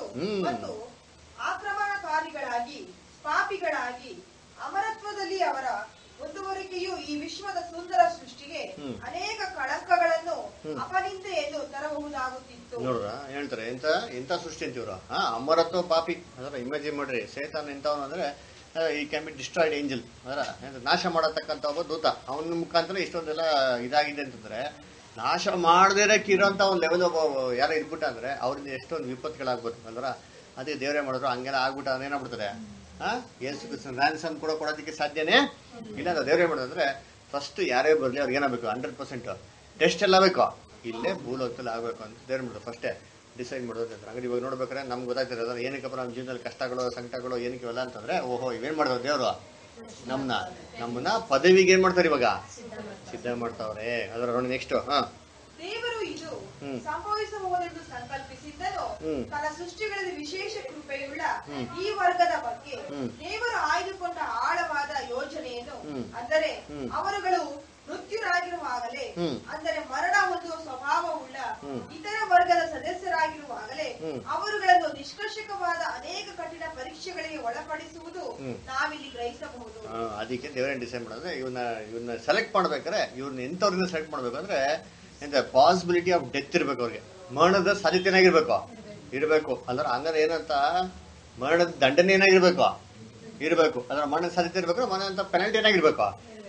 ಅದ್ರ ಇವಾಗ ದೇವರು ಯಾವ ಒಂದು ಸೃಷ್ಟಿಗೆ ಮರಣ ಅಂತ ಕೊಟ್ಟವ್ರೆ? ಮನ್ಸಿಗೆ ದೂತ್ರಗಳು ಕೊಟ್ಟಾರ? ಪಾಪ ಮರಣ, ಸಣ್ಣ ಮರಣ ಅಂತ ಪ್ರಾಣಿಗಳು ಕೊಟ್ಟಾರ? ಹಂಗಾರೆ ಕೊಟ್ಟಿದ್ದು ಯಾರಿಗೆ? ನೋಡಿ ದೇವ್ರು ಎಷ್ಟು ಜನ ಪ್ಲಾನ್ ಮಾಡೋರು ಅಂದ್ರೆ ಅಲ್ಟಿಮೇಟ್ ಆಗಿ ಡಿವೈನ್ ನೇಚರ್ ಯಾರಿಗೆ ಮಾತ್ರ ಹೋಗ್ಬೇಕು? ಮನುಷ್ಯರಿಗೆ ಹೋಗ್ಬೇಕು ಅಂತ ದೇವ್ರೆ ಮಾಡೋದು ಹಂಗೆ ಡಿಸೈಡ್ ಮಾಡೋರಂತೆ ಅದ್ರ ಅದೇ ನೋಡ್ಬೇಕಾದ್ರೆ ಈ ಆಪರ್ಚುನಿಟಿನ ದೇವ್ರು ಯಾರು ಕೊಟ್ಟರು ಮನುಷ್ಯ ಕೊಟ್ಟರು ಅದು ಹಿಂಗೆ? ಮಾಂಸದಲ್ಲೇ ಅವರು ಮರಣದ ಒಂದು ಸ್ವಭಾವದಲ್ಲಿ ಇರ್ಬೇಕಾದ್ರೆ ಫುಲ್ ಏನಾಗಬೇಕು ಅವ್ರಿಗೆ? ತರೋ. ತರೋ ಟೆಸ್ಟ್ ಆಗಬೇಕು. ಯಾವ ಟೆಸ್ಟು ಡಿವೈನ್ ನೇಚರ್ ಕೊಟ್ರೆ ಹೆಂಗಿರ್ತಾರೆ ಅಂತ ಅಂದ್ಬಿಟ್ಟು ಟೆಸ್ಟ್ ಇಲ್ಲ ಆಗ್ಬೇಕು ಇವಾಗ. ಇಲ್ಲೇ ಆಗ್ಬೇಕು ಹಂಗಾರೆ ಯೋಚನೆ ಮಾಡಿರ್ತೀರಿ ನಾವೆಲ್ಲ ಎಲ್ಲಿದ್ದೀರಿ? ನಾವೆಲ್ಲ ಎಲ್ಲಿದ್ದೀರಿ ನಾವೇನ್ ಮಾಡ್ಬೇಕು? ಸ್ವಲ್ಪ ಥಿಂಕ್ ಮಾಡಿ ನೋಡ್ಬೇಕು. ಅದರ ಹಂಗೆ ಆ ಲೆವೆಲ್ಗೆ ನಾವು ಇರಬೇಕು ಅಂತಂದ್ರೆ ದೇವ್ರು ನಮ್ಗೆ ಯಾವ ಲೆವೆಲ್ ನಮ್ಗೆ ಏನ್ ಮಾಡ್ಬೇಕು? ನಾವು ಟೆಸ್ಟ್ ಮಾಡಬೇಕು. ಅಂದ್ರೆ ಅದಕ್ಕೆ ನೋಡಿ ನೆಕ್ಸ್ಟ್ ಪ್ಯಾರಾಗ್ರಾಫ್ ಹೇಳ್ತೀನಿ ಹ್ಞೂ ನಮ್ಮ ಮನಸ್ಸಿನಲ್ಲಿ ನಾವು ಆ ಮಹಾ ಸೃಷ್ಟಿಕರ್ತನ ಆಪ್ತ ಸ್ನೇಹಿತರುಗಳು ಎಂದಿಟ್ಟುಕೊಂಡು ಈ ನೂತನ ಸೃಷ್ಟಿಯ ವ್ಯವಸ್ಥೆಯಲ್ಲಿ ಅಡಗಿರುವ ತತ್ವಜ್ಞಾನವನ್ನು ಊಹಿಸುವುದಾದರೆ ನೋಡಿ ಅದೇ ಹೇಳ್ತಾರೆ ಇವಾಗ ಏನ್ ಮಾಡೋಣ ಸ್ವಲ್ಪ ನಾವು ದೇವರು ಒಂದು ಫ್ರೆಂಡ್ ತರ ಏನ್ ಮಾಡೋಣ ಥಿಂಕ್ ಮಾಡೋಣ ಅಂತ ಹೇಳ್ತಾರೆ ನೀನು ದೇವಸ್ಥಾನದಲ್ಲಿ ನಿಂತ್ಕೊಂಡು ಅಲ್ಲ ದೇವ್ರ ನಮ್ ನಾವೇನು ದೇವ್ರ ಜಾಗದಲ್ಲಿ ನಾವು ಹೆಂಗಪ್ಪ ಇರ್ಬೋದು ದೇವ್ರು ಹೆಂಗಿದ್ದೆಲ್ಲ ಥಿಂಕ್ ಮಾಡಿರ್ಬೋದು ಏನ್ ಮಾಡೋಣ ಅಂತ ಸ್ವಲ್ಪ ಯೋಚನೆ ಮಾಡೋಣ ಅಂತ ಹೇಳ್ತಾ ಇದ್ರು. ಹಾಗಾದ್ರೆ ಯೋಚನೆ ಮಾಡ್ರಿ ಇವೆಲ್ಲ ಒಂದು ಐಡಿಯಾ ಅಂದ್ರೆ ದೇವ್ರ ಹತ್ರ ಥಿಂಕ್ ಮಾಡಿರ್ಬೋದು ಅಥವಾ ಹಿಂಗೆ ಯೋಚನೆ ಮಾಡಿರ್ಬೋದು ಅಂತ ಅಂದ್ಬಿಟ್ಟು ಇವೆಲ್ಲ ಯಾರು ಯೋಚನೆ ಮಾಡಿ ಬರೀಬೇಕು ಅಂದ್ರೆ ಇವೆಲ್ಲ ಏನಂತಾರೆ? ಇವೆಲ್ಲ ನಮ್ಗೆ ಯಾರಿಗಾದ್ರು ಯೋಚನೆ ಬರ್ತಾರೆ, ಇವೆಲ್ಲ ಯೋಚನೆ ಮಾಡಿ ಬಿಡ್ದಾರ ಅಸಲ್ಲಿ ಇವೆಲ್ಲ ಎಷ್ಟು ಚೆನ್ನಾಗಿ ಬರ್ತಾರೆ ನೋಡಿದ್ದೀನಿ ಅದರ ಹಾ ಈ ಥರ ದೇವ್ರಿಗೆ ಹಿಂಗೆ ಥಿಂಕ್ ಮಾಡಿರ್ಬೋದು ಅದನ್ನ ಹಿಂಗೆ ಇರ್ಬೋದು ಅಂತ ಅಂದ್ಬಿಟ್ಟು ಇದು ನಮಗೆಲ್ಲ ಯೋಚನೆ ಬರ್ತದಾ? ಹಾಂ ಅಂದ್ರೆ ಬರೋದೇ ಇಲ್ಲ ಅಂತೀನಿ ಎಷ್ಟು ಬೈಬಲ್ ಹೋದ್ರೆ ನಮ್ಗೇನಾಗಲ್ಲ ಬೈಬಲ್ ವಚನೆಲ್ಲ ಸ್ವಲ್ಪ ಹಂಗೆ ಯೋಚನೆ ಮಾಡ್ಬೋದು ಅಷ್ಟೇ ಹೊರತು. ಅದು ಜನರಲ್ ಆಗಿರೋಂಥ ಕಾನ್ಸೆಪ್ಟ್ಗಳು ನೋಡಿರ್ತಾರೆ ದೇವರು ಎಷ್ಟು ಚೆನ್ನಾಗಿ ಏನು ಮಾಡೋದು ಅದ್ರ ಮುಖಾಂತರ ನಮಗೆ ಗೈಡ್ ಮಾಡಿ ನೋಡಿದ್ದೀನಿ ಅದರ ಅದೇನು ಹೇಳ್ತಾರೆ? ದೇವ್ರ ಸ್ಥಾನದಲ್ಲಿ ನಿಂತ್ಕೊಂಡು ಏನ್ ಮಾಡೋಣ ಇವಾಗ? ಸ್ವಲ್ಪ ಥಿಂಕ್ ಮಾಡೋಣ ಅಂತ ಅಂತ ಹೇಳ್ತಾರೆ. ಏನದು? ನಾವೇ ದೇವರು. ತನ್ನಷ್ಟಕ್ಕೆ ಈ ನೂತನ ಸೃಷ್ಟಿಯ ಬಗ್ಗೆ ಹ್ಮ್. ಈ ರೀತಿಯಲ್ಲಿ ಹ್ಮ್. ಧ್ಯಾನಾಸಕ್ತನಾಗಿರುವಂತೆ ಊಹಿಸಬಹುದು. ಅದಕ್ಕೆ ನಾವೇನ್ ಮಾಡೋಣ? ಸ್ವಲ್ಪ ಥಿಂಕ್ ಮಾಡೋಣ. ದೇವ್ರು ಇದೇ ತರ ಥಿಂಕ್ ಮಾಡ್ತಾ ಇದ್ರೆ ದೇವ್ರು ಏನ್ ಥಿಂಕ್ ಮಾಡ್ಬೋದು ನಾವ್ ಏನ್ ಮಾಡೋಣ? ಯೋಚನೆ ಮಾಡೋಣ ಅಂತ ಹೇಳ್ತಾರೆ. ಅಂದ್ರ ದೇವ್ರು ಹಿಂಗೆ ರಿಲ್ಯಾಕ್ಸ್ ಆಗಿ ಸರಿ ಇವಾಗ ಇದು ಈ ಚಾನ್ಸ್ ಯಾರು ಕೊಡ್ಬೋದು ಅಂತ ದೇವ್ರು ಯೋಚನೆ ಮಾಡಿದ್ರೆ ಯಾವ ತರ ಯೋಚನೆ ಮಾಡಿರ್ಬೋದು ದೇವ್ರು ಅಂತ ಮಾಡೋಣ? ಸ್ವಲ್ಪ ನಾವೇ ಮಾಡೋಣ? ಯೋಚನೆ ಮಾಡೋಣ ಅಂತ ಹೇಳ್ತಾರೆ. ಹಾ. ಅನೇಕ ಸೃಷ್ಟಿ ಜೀವಿಗಳಲ್ಲಿ. ಶ್ರೇಷ್ಠ ವರ್ಗಕ್ಕೆ ಪರಿವರ್ತನೆಗೊಳ್ಳುತ್ತಿರುವ ಈ ಪ್ರಾಮುಖ್ಯತೆ ಪಡೆದವರನ್ನು ನಾವು ದೇವಕುಮಾರರ ಯಾವ ವರ್ಗಕ್ಕೆ ಸಮರ್ಪಿಸಬಹುದು? ಪ್ರತಿಯೊಂದು ಕ್ರಮವು ನನ್ನ ಊಹೆಯಲ್ಲಿ ಈಗಾಗಲೇ ಇದೆ. ಮಾನವ. ದೇವದೂತರುಗಳು. ಕೆರೂಬಿಯರು ಸೆರಾಫಿಯರು ಮತ್ತು ಪ್ರಧಾನ ದೇವದೂತರುಗಳು. ನನ್ನ ಯೋಚನೆಗಳು ಅತ್ಯುನ್ನತ ಸ್ಥಿತಿಗೇರಿದಾಗ. ಮತ್ತು ಎಲ್ಲಾ ಪರೀಕ್ಷೆಗಳು ಮುಗಿಯುವಾಗ. ಎಲ್ಲರೂ ಪರಮ ಸಂತೋಷ ಪಡುತ್ತಾರೆ. ಆದರೆ ದೇವರ ಸ್ವಭಾವದ ಪಾಲುದಾರರಾಗುವ ಅತ್ಯಂತ ವೈಭವಯುತವಾದ ಆಶೀರ್ವಾದ ಮತ್ತು ಅವಕಾಶಗಳನ್ನು. ಯಾರಿಗೆ ನಾನು ದಯಪಾಲಿಸಲಿ? ಹಾ ಅದೇ ನೋಡ್ಬೇಕು ದೇವ್ರು ಹೆಂಗ್ ಥಿಂಕ್ ಮಾಡಿದ್ದಾರೆ ಮೋಸ್ಟ್ಲಿ ಹಿಂಗ್ ಥಿಂಕ್ ಮಾಡ್ತಾರೆ ಅಂತಂದ್ರ ಏನಪ್ಪ ಕಿರುಗಳಿದ್ದಾರೆ ಅದರ ಸೆರಾಫಮ್ಗಳಿದ್ದಾರೆ ಆಮೇಲೆ ಏನಂತಾರೆ ಪ್ರಧಾನ ದೂತರುಗಳಿದ್ದಾರೆ ಎಲ್ಲರೂ ಇದ್ದಾರೆ ಇದನ್ನು ಯಾರು ಕೊಡ್ಲಿ ಫಸ್ಟ್ ಚಾನ್ಸ್ ಅಂತ ದೇವ್ರೆ ಮಾಡಿರ್ಬೋದು? ಥಿಂಕ್ ಮಾಡಿರ್ಬೋದು, ಈಗ ಚಿಂತೆ ಮಾಡಿರ್ಬೋದು ಅಂತ. ಚಿಂತೆ ಮಾಡಿರ್ಬೇಕಾದ್ರೆ ಏನು ಏನು ದೇವ್ರು ಡಿಸೈಡ್ ಮಾಡಿರ್ಬೇಕು? ದೇವ್ರ ಮನ್ಸಿಗೆ ಏನು ಬಂದಿರಬೇಕು? ಇದಕ್ಕೂ ಇದು ಫಸ್ಟ್ ಕೊಟ್ಟರೆ ಯಾರು ಕೊಡೋಣ ಅಂತ ಅನ್ಸಿರ್ಬೇಕು ಅವ್ರಿಗೆ? ಹಾಂ? ಯಾರು ಕೊಡ್ಬೇಕು ಅನ್ಸಿರ್ಬೇಕು? ಏಸು ಕ್ರಿಸ್ತನ್ ಕೊಡಬೇಕು ಅಂತ ಏನಿರ್ಬೇಕು? ಅನ್ಸಿರ್ಬೇಕು. ಯಾಕಂದ್ರೆ ಇವಾಗ ಜನರಲ್ ವ್ಯವಸ್ಥೆ ಮಾಡಿ, ಇವಾಗ ನಾವೇನು ಇರ್ತಿದ್ರ ನಾವೇನೋ ಒಂದು ಫೇವ್ರೇಟ್ ಆಗಿರೋದು, ಅದು ತುಂಬಾ ಏನೋ ಚೆನ್ನಾಗಿರೋದು ವಸ್ತು ತೊಗೊಳ್ಬೇಕು ಅಂತ ತಿಳ್ಕೊಳ್ಳಿ. ನಾವು ಯಾರು ಕೊಡಿಸ್ತೀರಾ ವಸ್ತುನ? ನಾವು ಯಾರನ್ನ ತುಂಬಾ ಪ್ರೀತಿ ಮಾಡ್ತೀರೋ ಅವ್ರಿಗೆ ಮಾಡೋದು? ಆ ವಸ್ತುನ ಕೊಡೋದು. ಅದರ ಫಸ್ಟ್ ಪ್ರಿಫರೆನ್ಸ್ ಯಾರು ಕೊಡ್ತೀರಿ? ನಮ್ಗೆ ತುಂಬಾ ಕ್ಲೋಸ್ ಆಗಿರೋದು ಬೇಕಂದ್ರ ಹಾಗೆ ದೇವ್ರಿಗೆ ಕ್ಲೋಸ್ ಆಗಿದ್ದವ್ರು ಯಾರು? ಹಾ ಎಷ್ಟು ನೆಕ್ಸ್ಟ್ ಹೇಳ್ತಾ ಅಂತೀನಿ. ಹಾ. ಸ್ವಾಭಾವಿಕವಾಗಿ ಪ್ರಥಮವಾಗಿ ಪಡಕೊಂಡವನು ಈಗಾಗಲೇ ಪರಮ ಶ್ರೇಷ್ಠನಾಗಿ. ಅಸಂಖ್ಯಾತರಲ್ಲಿ ಅತ್ಯಮೂಲ್ಯನಾಗಿ ತನ್ನ ನಂತರದ ಸ್ಥಾನದಲ್ಲಿರುವವನಾಗಿ ತೋರಿ ಬರುತ್ತಾನೆ. ಹ್ಮ್. ಅಲ್ವರ ಏನಂತಾರೆ ಎಲ್ಲಾ ಸ್ಥಾನದಲ್ಲಿ ಪ್ರಮುಖವಾಗಿ ಆಡಿ ಒಬ್ರು ಇದ್ರಂತೆ. ಯಾರದ? ನೋಡ್ಬೇಕು. ಫಸ್ಟ್ ಚಾನ್ಸ್ ಯಾರು ಕೊಟ್ಟಿದ್ದೇವ್ರು ಕ್ರೈಸ್ಟಿಗೆ ಅದಕ್ಕೆ ಕೊಟ್ಟಿದ್ದಂತೆ ಯಾಕಂದ್ರೆ ಎಲ್ಲಾ ವಿಚಾರದಲ್ಲಿ ಏನಂತ ಯೇಸು ಕ್ರಿಸ್ತನೇ ಮೊದಲಾಗಬೇಕು ಅಂತ ದೇವರಾಗಿದ್ದ. ನಿಷ್ಕರ್ಷ ಮಾಡ್ಬಿಟ್ಟಿದ್ರು ಅಂತ ಹೇಳ್ತಾರೆ ಅದರ ಎಲ್ಲಾ ವಿಚಾರದಲ್ಲಿ ಅವರೇ ಫಸ್ಟ್ ಅದರ ಫಸ್ಟ್ ಕೊಟ್ಟಿದ್ದ ಚಾನ್ಸ್ಗಳೆಲ್ಲ ದೇವ್ರೇ ಮಾಡಿದ್ರು. ಹಾ ಅವ್ರು ಚೆನ್ನಾಗಿ ಏನ್ ಮಾಡಿದ್ರು ಯೂಸ್ ಮಾಡ್ಕೊಂಡ್ರು ಅಂತ ಹೇಳ್ತಾರೆ ಅದನ್ನ ಈ ಒಂದು ಫಸ್ಟ್ ಚಾನ್ಸ್ನ ಕೂಡ ಯಾರು ಕೊಟ್ಟಿದ್ದು? ಕ್ರೈಸ್ಟ್ಗೆ ಅಂತ ಹೇಳ್ತಾರೆ. ಹಾ. ಹ್ಮ್. ಹ್ಮ್. ವಿಶಿಷ್ಟವಾಗಿ ಎಲ್ಲವುಗಳಲ್ಲಿ ತನ್ನ ತಂದೆ ಮತ್ತು ಸೃಷ್ಟಿಕರ್ತನಿಗೆ ಸ್ವಾಮಿ ಭಕ್ತಿ ಮತ್ತು ನಿಷ್ಠೆಯನ್ನು ತೋರಿದವನು ಎಂಬುದಾಗಿ. ಆತನು ದೇವರ ಮನಸ್ಸಿಗೆ ತಡವಿಲ್ಲದೆ ಕಂಡು ಬರುತ್ತಾನೆ. ಅದಲ್ಲ ಅದೇನಂತಾರೆ ಏನ್ರಿ ಎಲ್ಲಾ ಸೃಷ್ಟಿಗಳನ್ನ ಆತನ್ಗೋಸ್ಕರನೆ ಆತನ ಮುಖಾಂತರನೇ ಮಾಡಿದ್ದು. ಆಮೇಲೆ ಎಲ್ಲಾ ವಿಚಾರದಲ್ಲಿ ದೇವ್ರಿಗೆ ಏನಾಗಿದೆ ದೇವ್ರ? ಹಾ ಅದರ ಏನಂತಾರೆ ಒಂದು ಭಯ ಭಕ್ತಿ ಅದರ ವಾಲೆಂಟ್ರಿ ಏನಿದೆ ಸಬ್ಮಿಟ್ ಆಗಿರೋದ್ರಿಂದ ಫಸ್ಟ್ ಟಕ್ಕಂತ ಎದ್ದಿದ ತಕ್ಷಣ ಮೈಂಡಿಗೆ ಯಾರು ಬಂದಿರ್ತಾರೆ ಇಮ್ಮಿಡಿಯಾಗೆ ಕ್ರೈಸ್ಟ್ ಏನಿರ್ತಾರೆ ಅವ್ರಿಗೆ ಮೈಂಡಿಗೆ ಬಂದಿರ್ತಾರೆ ಅಂತ ಮಾಡ್ತಾರೆ ಅಲ್ಲಿ ಹೇಳ್ತಾರೆ. ಅದರ ಆದುದರಿಂದ. ಆತನಿಗೆ ಪ್ರಥಮವಾಗಿ ದೇವರ ಸ್ವಭಾವ ಆತನ ಮಹಿಮೆ ಗೌರವ ಮತ್ತು ನಿರ್ಲಯತ್ವಗಳು ನೀಡಲ್ಪಡುತ್ತವೆ. ಅದರಿಂದ ಫಸ್ಟ್ ಚಾನ್ಸ್ ಯಾರು ಕೊಟ್ರಂತೆ? ಕ್ರೈಸ್ಟ್ ಕೊಟ್ರಂತೆ ಆತನಲ್ಲಿ ಎಲ್ಲಾ ಸಂಪೂರ್ಣತೆಯು ಅಡಕವಾಗುವುದು. ತಂದೆಗೆ ಉಚಿತವೆಂದೆನಿಸಿತು. ಹ್ಮ್ ಅಂದ್ರೆ ಆತನಲ್ಲಿ ಏನ್ರಿ ಎಲ್ಲಾ ಸಂಪೂರ್ಣವಾಗಿರೋದು ಏನಿದೆ ದೇವ್ರಿಗೆ? ಇದೇ ಸೂಟೇಬಲ್ ಅಂತ ಅಂದ್ಬಿಟ್ಟು ದೇವ್ರಂತೆ ಅಲ್ಲಿ ಅನಿಸ್ತದೆ ಅದಕ್ಕೆ ದೇವ್ರೆ ಮಾಡೋದು ಫಸ್ಟ್ ಚಾನ್ಸ್ ಯಾರು ಕೊಟ್ಟಿದ್ದು? ಕ್ರೈಸ್ಟ್ಗೆ ಆಮೇಲೆ? ಆತನು ಎಲ್ಲದರಲ್ಲಿ ಪ್ರಮುಖನಾಗುವಂತೆ ತನ್ನ ಸರ್ವ ಸಂಪೂರ್ಣತೆಯು ಆತನಲ್ಲಿ ವಾಸವಾಗಿರಬೇಕೆಂದು ತಂದೆಯು ಬಯಸಿದನು. ಆತನಿಗಾಗ ಈಗಾಗಲೇ ಎಲ್ಲವುಗಳ ಮೇಲೆ ಪ್ರಾಬಲ್ಯವಿತ್ತು ಮತ್ತು ಅದನ್ನು ಆತನ ಪ್ರಾಮಾಣಿಕತೆಯಿಂದ ಉಪಯೋಗಿಸುತ್ತಿದ್ದನು. ತಂದೆಯು ಕೊಡಬಯಸುವ ಯಾವುದೇ ಹೆಚ್ಚಿನ ಗೌರವ ಅಂತಸ್ತುಗಳಿಗೆ ಆತನು ಸ್ವಾಭಾವಿಕವಾಗಿ ಮುಂಚೂಣಿಯಲ್ಲಿದ್ದನು. ಇದ್ದವರಿಗೆ ಇನ್ನೂ ಕೊಡಲ್ಪಡುವುದು ಮತ್ತು ಆತನು ಹೇರಳವಾಗಿ ಪಡಕೊಳ್ಳುವನು. ಪ್ರಾಮಾಣಿಕತೆಗೆ ಬಹುಮಾನ ಉಂಟು. ಆದಾಗ್ಯೂ ಇವರು ಸಹ ಶೋಧನೆ ಅನುಭವಗಳು ಮತ್ತು ಹೆಚ್ಚಿನ ನಿರ್ಣಾಯಕ ಶಿಸ್ತಿಗೆ ಒಳಗಾಗಬೇಕಾಗುತ್ತದೆ. ಹೀಗಿದ್ದಾಗ್ಯೂ ಬಹಳ ನಿಷ್ಠೆಯುಳ್ಳ ಶ್ರದ್ಧಾ ಭಕ್ತಿಯುಳ್ಳ ಒಬ್ಬ ಮಗನ ವಿಶ್ವಾಸ ಮತ್ತು ನಿಷ್ಠೆಯನ್ನು ಕಠಿಣವಾದ ನಿರ್ಣಾಯಕ ಪರೀಕ್ಷೆಗಳಿಗೆ ಒಳಪಡಿಸದೆ ಆತನಿಗೆ ದೈವಿಕ ಸ್ವಭಾವದಲ್ಲಿ ಪಾಲನ್ನು ದಯಪಾಲಿಸುವಂತಿಲ್ಲ. ಹ್ಮ್ ಅದ್ರ ಅದೇ ನೋಡ್ಬೇಕು. ದೇವ್ರ ಫಸ್ಟ್ ಚಾನ್ಸ್ ಯೇಸು ಕ್ರಿಸ್ತನ್ ಕೊಡ್ಬೇಕು ಅಂತ ಡಿಸೈಡ್ ಮಾಡುವಂತೆ ಯಾಕೆಂದ್ರೆ ಹಲವಾರು ಕಾರಣಗಳು ಹೇಳ್ತಾರೆ. ಅಂದ್ರೆ ಆಲ್ರೆಡಿ ಏನಾಗಿದೆ? ದೇವರಿಗೆ ಫೇತ್ಫುಲ್ ಆಗಿದ್ರು ಅಂದ್ರೆ ಎಲ್ಲಾ ವಿಚಾರದಲ್ಲಿ ಒಬಿಡಿಯಂಟ್ ಆಗಿದ್ರು ಆಮೇಲೆ ಎಲ್ಲಾ ವಿಚಾರದಲ್ಲಿ ದೇವರಿಗೆ ಸಬ್ಮಿಟ್ ಆಗಿದ್ರು ಅಂದ್ರೆ ಆಮೇಲೆ ದೇವರು ಮಗದ ಮೇಲೆ ಅಷ್ಟೊಂದು ಪ್ರೀತಿ ಬರ ಇಟ್ಟಿದ್ರು ಇದನ್ನ ಅವ್ರಿಗೆ ಏನ್ ಮಾಡ್ಬೇಕು? ದಯಪಾಲಿಸ್ಬೇಕು ಅಂದ್ಬಿಟ್ಟು ದೇವ್ರಿಗೆ ಇತ್ತು ಒಂದು ಒಂದು ಆಸೆ ಕೂಡ ಇತ್ತು ಅಂತ ಹೇಳ್ತಿದ್ರ. ಅದು ಮಾತ್ರ ಅಲ್ಲ ಏನ್ರಿ? ಆ ಒಂದು ನೇಚರ್ನ ಟೆಸ್ಟ್ ಮಾಡಿದ್ರೆ ಏನ್ ಮಾಡಕ್ ಸಾಧ್ಯ ಇಲ್ಲ ಇವಾಗ? ದೇವ್ರು ಕೊಡ್ಬೇಕು ಅಂತ ಆಸೆ ಇದೆ, ಹಂಗೆ ಸುಮ್ಮನೆ ಕೊಟ್ಬಿಡಕಾಯ್ತದ ಮಗ ಅಂತ ಅಂದ್ಬಿಟ್ಟು ಅದು ಕೂಡ ಕೊಡಕ್ ಸಾಧ್ಯ ಹೇಳ್ಬಿಟ್ಟು ಇವಾಗ ಏನ್ ಮಾಡಬೇಕು? ಫುಲ್ಲು ಟೆಸ್ಟ್ ಮಾಡ್ಬೇಕು. ಅಂದ್ರೆ ಯೇಸು ಕ್ರಿಸ್ತನ್ ಕೂಡ ಸಿವಿಯರ್ ಟೆಸ್ಟ್ ಕೊಟ್ರಂತೆ. ಅದರ? ಯಾಕೆ ಸಿವಿಯರ್ ಟೆಸ್ಟ್ ಅಂತಂದ್ರೆ ಈ ಒಂದು ಏನ್ರೆ ಕ್ಯಾಪ್ಟನ್ ಆಫ್ ಸಲ್ವೇಶನ್ ಬೈಬಲ್ ಮಾತಾಡ್ತಾರೆ ಅದರ? ನಮ್ಮ ಒಂದು ರಕ್ಷಣೆಗೆನೆ ಯಾರಂತೆ? ನಾಯಕ ಅವರು. ಅದರ ಅಂದ್ರೆ ಏನಂದ ಅರ್ಥ? ನಾಯಕನಿಗೆ ಎಲ್ಲಾ ಟ್ರಯಲ್ಸ್ ಕೊಟ್ಬಿಟ್ಟ ಅಂದ್ರೆ ನೆಕ್ಸ್ಟ್ ಅವ್ರ ಹಿಂದೆ ಬರುವಂತ ಒಂದು ಶಿಷ್ಯರುಗಳಾಗ್ಲಿ ಸೋಲ್ಜರ್ಸ್ಗಳಾಗ್ಲಿ ಏನ್ ಮಾಡಕ್ ಹೋಗಲ್ಲ. ಆ, ನೋಡಿದ್ರ? ನನ್ಗೆ ಅವ್ರಕ್ಕಿಂತ ಏನ್ ಮಾಡಿದಿರಾ? ನನಗೆ ಕಮ್ಮಿ ಕೊಟ್ಬಿಟ್ಟಿದ್ದೀರಾ ಹಾಂ, ಸರ್ ಅವ್ರಕ್ಕಿಂತ ಜಾಸ್ತಿ ಕೊಟ್ಟಿದ್ದೀರಾ ಅಂತ ಯಾರೇ ಮಾಡಕ್ ಹೋಗಲ್ಲ. ಯಾರೋ ಒಂದು ಹೇಳೋದಕ್ಕೆ ಹೋಗಲ್ಲ. ಅದಕ್ಕೆ ಏನ್ ಮಾಡ್ರು ಸಿವಿಯರ್ ಆಗಿ ಟೆಸ್ಟ್ ಯಾರು ಕೊಟ್ಬಿಟ್ರು? ಕ್ರೈಸ್ಟಿಗೆ ಅಂದ್ರೆ ಕ್ರೈ- ಕ್ರೈಸ್ಟಿಗೆ ಕೊಡೋದೆಲ್ಲ ಕೊಟ್ಬಿಟ್ರು ಬಿಡಿ ಹಂಗೆ ನಮಗೆ ಕೊಟ್ರೆ ಏನಾಗಬೇಕು ಅದಕ್ಕಿಂತಾನೆ. ಅದಕ್ಕಿಂತಾನೆ ಕಮ್ಮಿ ಆಗ್ಬೇಕು ಅದು ಅದಕ್ಕಿಂತ ಜಾಸ್ತಿ ಆಗೋದಕ್ಕೆ ಸಾಧ್ಯ ಇಲ್ಲ. ಯೇಸು ಹೇಳ್ತಾರೆ the servant is not greater than the master ಅಂತ. ಅವ್ನು ಮಾತ್ರ. ಅದರ ನಾವೆಲ್ಲ ಏನು ಆಳು ದನಿಗಿಂತ ದೊಡ್ಡಲ್ಲ ಅಂದ್ರೆ ಅವರು ತಂದೆಗೆ ಆಳು. ಅಂದ್ರೆ ಅವ್ರಕ್ಕಿಂತ ಇವ್ರು ದೊಡ್ಡರಲ್ಲ ಅಂದ್ರೆ ಇವ್ರಿಗೆ ಕೊಡ್ಬೇಕಾದ್ರೆಲ್ಲ ಏನ್ ಮಾಡೋರು? ಲೆವೆಲ್ ಕೊಟ್ಟರೆ. ಇವಾಗ ನಾವೇನಾಗಿದ್ರೆ ಯೇಸು ಕ್ರಿಸ್ತನ್ಗೆ ಆಳುಗಳು. ಅಂದ್ರೆ ಆಳು ದನಿಗಿಂತ ದೊಡ್ಡನಲ್ಲ ಅಂತಂದ್ರೆ, ದನಿ ಕೊಟ್ಟಿರೋಂತ ಒಂದು ಇದು ಸಿವಿಯರ್ ಟ್ರಯಲ್ಸ್ ನಮ್ಗೆ ಕೊಡ್ತಾರ? ಖಂಡಿತವಾಗ ಅವ್ರಕ್ಕಿಂತ ದೊಡ್ಡರಲ್ಲ ಅಂದ್ಮೇಲೆ ನಮ್ಗೆ ನಮ್ಮ ಲೆವೆಲ್ಗೆ ಹಿಂಗೆ ಮಾಡಪ್ಪ ಕೂಡ ಹಾಗಾದ್ರೆ ನಮ್ಗೆ ಅವ್ರಕ್ಕಿಂತ ಚಿಕ್ಕದಾಗಿ ಏನ್ ಮಾಡ್ತಾರೆ? ಕೊಡ್ತಾ ಇರುತ್ತೆ ಅವ್ರಕ್ಕಿಂತ ಸಿವಿಯರ್ ಆಗಿ ಮಾಡಕ್ ಹೋಗಲ್ಲ? ಕೊಡೋದಕ್ಕೆ ಹೋಗಲ್ಲ. ಅಂದ್ರೆ ಕ್ರೈಸ್ಟಿಗೆ ಏನ್ ಮಾಡ್ಬಿಟ್ರಂತೆ ಎಷ್ಟೆಲ್ಲ ಕೊಡ್ಬೇಕಾಗಿದ್ಯೋ, ಸಿವಿಯರ್ ಆಗಿ ನೋಡ್ರ. ಕೊಟ್ಬಿಟ್ರು. ಇದಕ್ಕಿಂತ ಮಿತಿ ಮೀರಿ ಕೊಡೋದಕ್ಕೇನಿಲ್ಲ. ಒಂದು ಅವಕಾಶನ ದೇವರೇ ಮಾಡಕ್ ಹೋಗಿಲ್ಲ.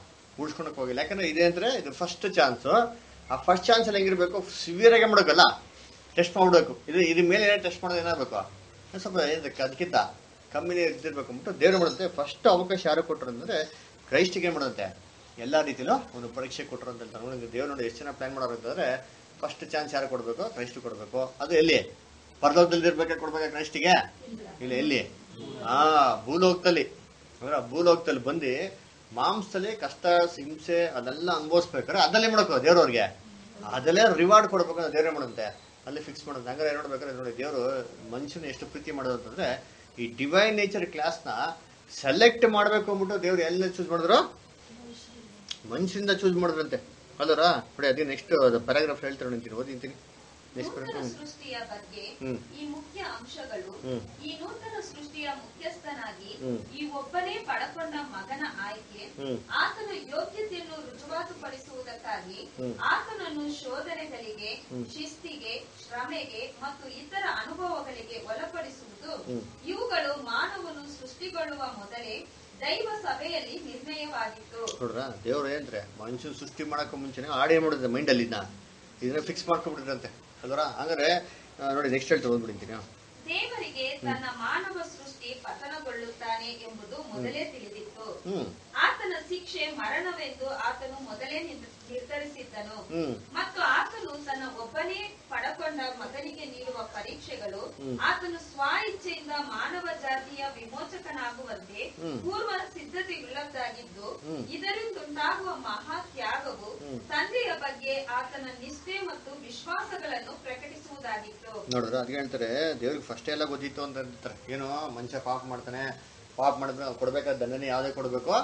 ಮರಣನೇ ಕೊಡಬೇಕು, ಬೇರೆ ಏನು ಕೊಡಕ್ ಸಾಧ್ಯ ಅಂತ ದೇವ್ರ ಫಸ್ಟೇ ಗೊತ್ತಿತ್ತು ಅಂತ ಹಂಗಾರೆ ದೇವ್ರು ಇವೆಲ್ಲ ಗೊತ್ತಿಟ್ಕೊಂಡು ಹೆಂಗ್ ಮಾಡೋರ ಪ್ಲಾನ್ ಅಂದ್ರೆ ಈ ಡಿವೈನ್ ನೇಚರ್ಗೆ ಯೇಸು ಕ್ರಿಸ್ತನ್ ತರಿಸ್ಬೇಕು. ಆ ತರಿಸ್ಬೇಕಾಗಿ ಇವೆಲ್ಲ ಏನು ಮಾಡ್ಬೇಕು?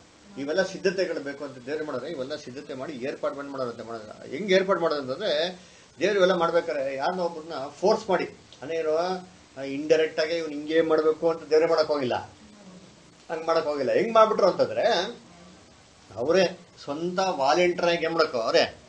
ಸ್ವಂತ ಒಂದು ಪ್ರೀತಿಯಿಂದ, ತನ್ನ ದೇವ್ರ ಪ್ರೀತಿಯಿಂದ ತಾನೇ ಮಾಡಬೇಕಲ್ಲ ಎಲ್ಲವನ್ನೂ ತ್ಯಾಗ ಮಾಡಿ ಅವರೇ ಮಾಡಬೇಕು ಕಷ್ಟಪಟ್ಟು ಈ ಲೆವೆಲ್ಗೆ ಬರ್ಬೇಕು ದೇವ್ರೆ ಮಾಡುತ್ತೆ. ಆ ಥರ ಒಂದು ಪ್ಲಾನ್ ಮಾಡಿಬಿಟ್ರು ಅಂತ ಹೇಳ್ತಾರೆ. ಸರ್, ಅದೇ ನೋಡ್ಬೇಕಾದ್ರೆ ಹೆಂಗೆ ಇವಾಗ ತಂದೆ ತಾಯಿಗಳಿಗೆ ಒಂದು ಒಂದು ಒಂದು ಇತ್ತು ಎಕ್ಸಾಂಪಲ್ ಹೇಳ್ಬೇಕಾದ್ರೆ ಒಂದು ಮಗು ಮಗು ಓದ್ಬಿಟ್ಟು ನಾಳೆ ಮಗು ಏನಾಗಬೇಕು, ಹಿಂಗಿರ್ಬೇಕು ಅಂದ್ಬಿಟ್ಟು ಒಂದು ಆಸೆ ಇರ್ತಾರೆ ಅವಾಗ ತಂದೆ ತಾಯಿಗಳ ಚಿಕ್ಕ ವಯಸ್ಸಿನ ಯಾವ ಥರ ಬೆಳೆಸ್ತಾರೆ? ಅದೇ ಒಂದು ಹೆಜ್ಜೆಗಳಲ್ಲಿ ಏನು ಮಾಡ್ತಾರೆ ಅವಾಗ ದೊಡ್ಡ ನಮಗೆ ಕೂಡ ಏನಾಗಲ್ಲ ದಾರಿನ.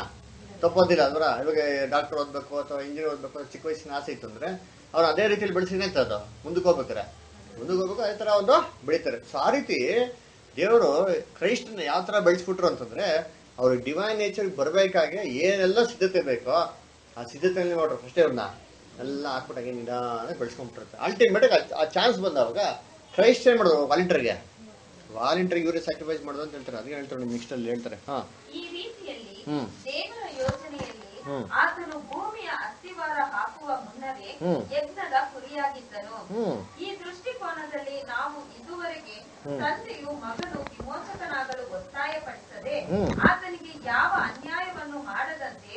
ದೂರವಿದ್ದು ಈ ಮಹಾತ್ಯಾಗಕ್ಕೆ ಆತನನ್ನು ಯಾವ ರೀತಿಯಲ್ಲಿ ಸಿದ್ಧಪಡಿಸುತ್ತಿದ್ದನೆಂದು ಗ್ರಹಿಸಬಹುದು ನೋಡಿದ್ರ ಅದ್ ಹೇಳ್ತಾರೆ ದೇವರ ದೇವ್ರ ಮಗನ್ ಏನ್ ಹೋಗಿಲ್ಲ ಫೋರ್ಸ್ ಮಾಡಕ್ಕೆ ಹೋಗಿಲ್ಲ ಅದರ ಹೆಂಗ್ ಮಾಡ್ಬಿಟ್ರು ಅಂತಂದ್ರೆ ಮಗನೇ ಮಾಡಕ್ ವಾಲಂಟ್ರಿ ಆಗಿ ಏನ್ ಮಾಡಕೋ ಇವೆಲ್ಲ ಸಿಚುವೇಶನ್ ನೋಡಿ ಅವ್ರೇನ್ ಮಾಡಕೋ ಅವರೇ ಧುಮುಕಿ ತನ್ನ ಜೀವನನೇ ತ್ಯಾಗ ಕೊಡೋಕೆನಾಗಿರ್ಬೇಕು ರೆಡಿ ಆಗಿರೋ ರೀತಿಲಿ ಮಾಡ್ರು ಒಂದು ಮಾಡ್ಬಿಟ್ರು. ಸಿದ್ಧಪಟ್ಬಿಟ್ರು ಅಂತ ಅದರ ಸಿದ್ಧ ಮಾಡಿದ್ರು. ಮಗನ ಸಿದ್ಧ ಮಾಡಿ ಬೆಳೆಸ್ಬಿಟ್ರು. ಯಾವ ತರ ಅಂದ್ರೆ ಅವರೇ ವಾಲೆಂಟ್ರಿಗೆ ಏನಬೇಕು ಹೋಗ್ಬೇಕು ಹೊರತು ಫೋರ್ಸ್ ಮಾಡಾಗ್ಲಿ ಅಥವಾ ಹೇಳ್ಕೊಂಡು ಕೇಳ್ಕೊಂಡು ಹೋಗೋಂಥ ಲೆವೆಲ್ಗೆ ಏನ್ ಮಾಡಕ್ ಹೋಗಿಲ್ಲ ಅದ್ರ ಸಿದ್ಧತೆ ಮಾಡಕ್ ಹೋಗಿಲ್ಲ ಅಂತ ಹೇಳ್ತಾರೆ. ಅದರ ಅದ್ರ ಹೇಳ್ತೀನಿ ಅವ್ರಿಗಿಬ್ರಿಗೆ ಇರೋಂಥ ಅಂಡರ್ಸ್ಟ್ಯಾಂಡಿಂಗ್ ಅದೇ ಹೇಳ್ತಾರಲ್ಲ, ನಾನು ತಂದೆ ಇಬ್ರು ಒಂದಾಗಿದ್ರು, ಇದೇ ಒಂದೇ ಅದರ ಅವ್ರ ಮೈಂಡ್ ಇವ್ರು ಅರ್ಥ ಮಾಡ್ಕೊಂಡು ಇವ್ರ ಮೈಂಡ್ ಏನ್ ಮಾಡೋದು ಅವರು ಅರ್ಥ ಮಾಡ್ಕೊಡೋದು ಆಮೇಲೆ ಹ್ಮ್. ಈ ದೃಷ್ಟಿಕೋನದಿಂದ ನಾವು ಆತನು ತನ್ನ ಮುಂದೆ ಇಟ್ಟಿದ್ದ ಸಂತೋಷಕ್ಕೋಸ್ಕರ. ಅವಮಾನವನ್ನು ಅಲಕ್ಷ್ಯ ಮಾಡಿ. ಶಿಲುಬೆಯ ಮರಣವನ್ನು ಸಹಿಸಿಕೊಂಡನು. ಎಂಬ ಅಪೋಸ್ತರನ ಹೇಳಿಕೆಗೆ ಆಶ್ಚರ್ಯ ಪಡಬೇಕಾಗಿಲ್ಲ ಈ ಸಂತೋಷವು ಕೇವಲ ಈ ನೂತನ ಸೃಷ್ಟಿಯ ಎಲ್ಲಾ ಜೀವಿಗಳ ಮೇಲಿನ ಅತ್ಯುನ್ನತ ಸ್ಥಾನದ ನಿರೀಕ್ಷೆಯದಲ್ಲ. ಆದರೆ ಇದು ಅದರ ಭಾಗವೆಂದು ನಾವು ಸಕಾರಣವಾಗಿ ಗ್ರಹಿಸಬಹುದು. ಆದಾಗ್ಯೂ ತಾನು ಪರೀಕ್ಷೆಗಳನ್ನು ಅನುಭವಿಸುವಾಗ ವಿಮೋಚಕನು ತನ್ನ ತಂದೆಗೆ ಮಾಡಿದ ಪ್ರಾರ್ಥನೆಯಲ್ಲಿ ಆತನು ತನಗೆ ವಾಗ್ದಾನಗೊಂಡಿರುವ ಮತ್ತು ನಿರೀಕ್ಷಿಸುವ ಮಹಾ ಘನತೆ ಮಹಿಮೆ ಮತ್ತು ನಿರ್ಲಯತ್ವಗಳನ್ನು ಉಲ್ಲೇಖಿಸಲಿಲ್ಲ. ಆದರೆ ಸುಂದರವಾದ ಸರಳತೆ ಮತ್ತು ನಮ್ರತೆಗಳಿಂದ ತನ್ನನ್ನು ಪೂರ್ವಸ್ಥಿತಿಗೆ ಮರಳಿಸಬೇಕೆಂದು ಬೇಡಿಕೊಂಡನು. ತಂದೆಯಿಂದ ತಾನು ದೈವಿಕ ಯೋಜನೆಗಳ ಇತರ ಲಕ್ಷಣಗಳನ್ನು ನೆರವೇರಿಸುವ ಕಾರ್ಯಭಾರಿಯಾಗಿ ಆಯ್ಕೆಯಾಗಿರುವುದು ಈ ಮೊದಲು ಸೃಷ್ಟಿಗೊಂಡ ಎಲ್ಲವುಗಳ ಕಾರ್ಯಭಾರಿಯಾದಂತೆ ಒಂದು ರೀತಿಯ ಗೌರವವೆಂದೆನಿಸಿದನು. ಆತನ ಸರಳ ಮಾತುಗಳೆಂದರೆ, ನಿನ್ನ ಬಳಿಯಲ್ಲಿ ನನಗಿದ್ದ ಮಹಿಮೆಯಿಂದಲೇ ನನ್ನನ್ನು ಮಹಿಮೆಪಡಿಸು. ಆದರೆ ತಂದೆಯ ಉತ್ತರವು ಅರ್ಥಪೂರ್ಣವಾಗಿದ್ದು ಆತನು ಹೀಗೆ ಹೇಳಿದನು ನಾನೀಗಾಗಲೇ ಮಹಿಮೆ ಪಡಿಸಿದ್ದೇನೆ ನಾನು ನಿನ್ನನ್ನು ತಿರುಗಿ ಮಹಿಮೆ ಪಡಿಸುವೆನು ಹ್ಮ್ ಅದೇ ನೋಡ್ಬೇಕ್ರೆ ಅದೇ ಯೇಸು ಕೃಷ್ಣ ಮುಂದೆ ಇಟ್ಟಂತ ಒಂದು ಸಂತೋಷದಿಂದ ಅವಮಾನವನ್ನು ಲೆಕ್ಕಿಸಲು ಶಿವೆ ಮಾಡೋದು ಸಹಿಸ್ಕೊಂಡಂತ ಹೇಳ್ತಾರಲ್ಲ ಏನಪ್ಪ ಸಂತೋಷ ಅಂತಂದ್ರೆ, ಇದೇ ಅವ್ರ ಮುಂದೆ ಇಟ್ಟಂತ ಒಂದು ಸಂತೋಷ ಅಂತ ಹೇಳ್ತಾರೆ. ಏನಂದ್ರೆ ಪ್ರೈಮರಿಯಾಗಿ ನೋಡ್ಬೇಕಾದ್ರೆ ಏನ್ರಿ? ದೇವರು ಒಂದು ಡಿವೈನ್ ನೇಚರ್ ಕೊಡ್ತಾರೆ ಅಂತ ಅದೊಂದಲ್ವಂತೆ. ಏನಂದ್ರೆ, ದೇವ್ರ ಚಿತ್ತ ನೆರವೇರಿಸಬೇಕು ಅಂತ ಅಂದ್ಬಿಟ್ಟು ಏನಾಗಿತ್ತು? ಅವ್ರ ಮುಂದೆ ಇದ್ದಂತ ಒಂದು ಸಂತೋಷ. ಅದು ಎಲ್ಲಿ ಗೊತ್ತಾಗ್ತಂದ್ರೆ ಯೇಸು ಕ್ರಿಸ್ತ ಮಾಡಿದಂತ ಒಂದು ಪ್ರೇಯರ್ ಅದರ ಹೇಳ್ತಾರೆ ಗೊತ್ತಾ? ದೇವರೇ, ನನ್ನನ್ನು ಏನ್ ಮಾಡೋ? ಮಹಿಮೆ ಪಡಿಸು. ನಾನು ನಿನ್ನ ಮಹಿಮೆ ಪಡಿಸಿದ್ದೀನಿ. ನಿನ್ನೇ ನನ್ನೇ ಮಾಡೋ. ಮಹಿಮೆ ಪಡಿಸು.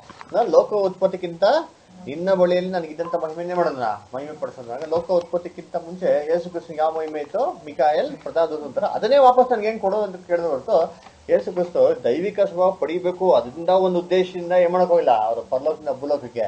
ಅವರು ಬರಲಿಲ್ಲ ಅಂತ ಹೇಳ್ತಾರೆ. ಅಂದ್ರೆ ಈ ತರ ಒಂದು ಹಂಬಲ್ ಒಂದು ಕ್ಯಾರೆಕ್ಟರ್ ಯಾರಿಗಿತ್ತು?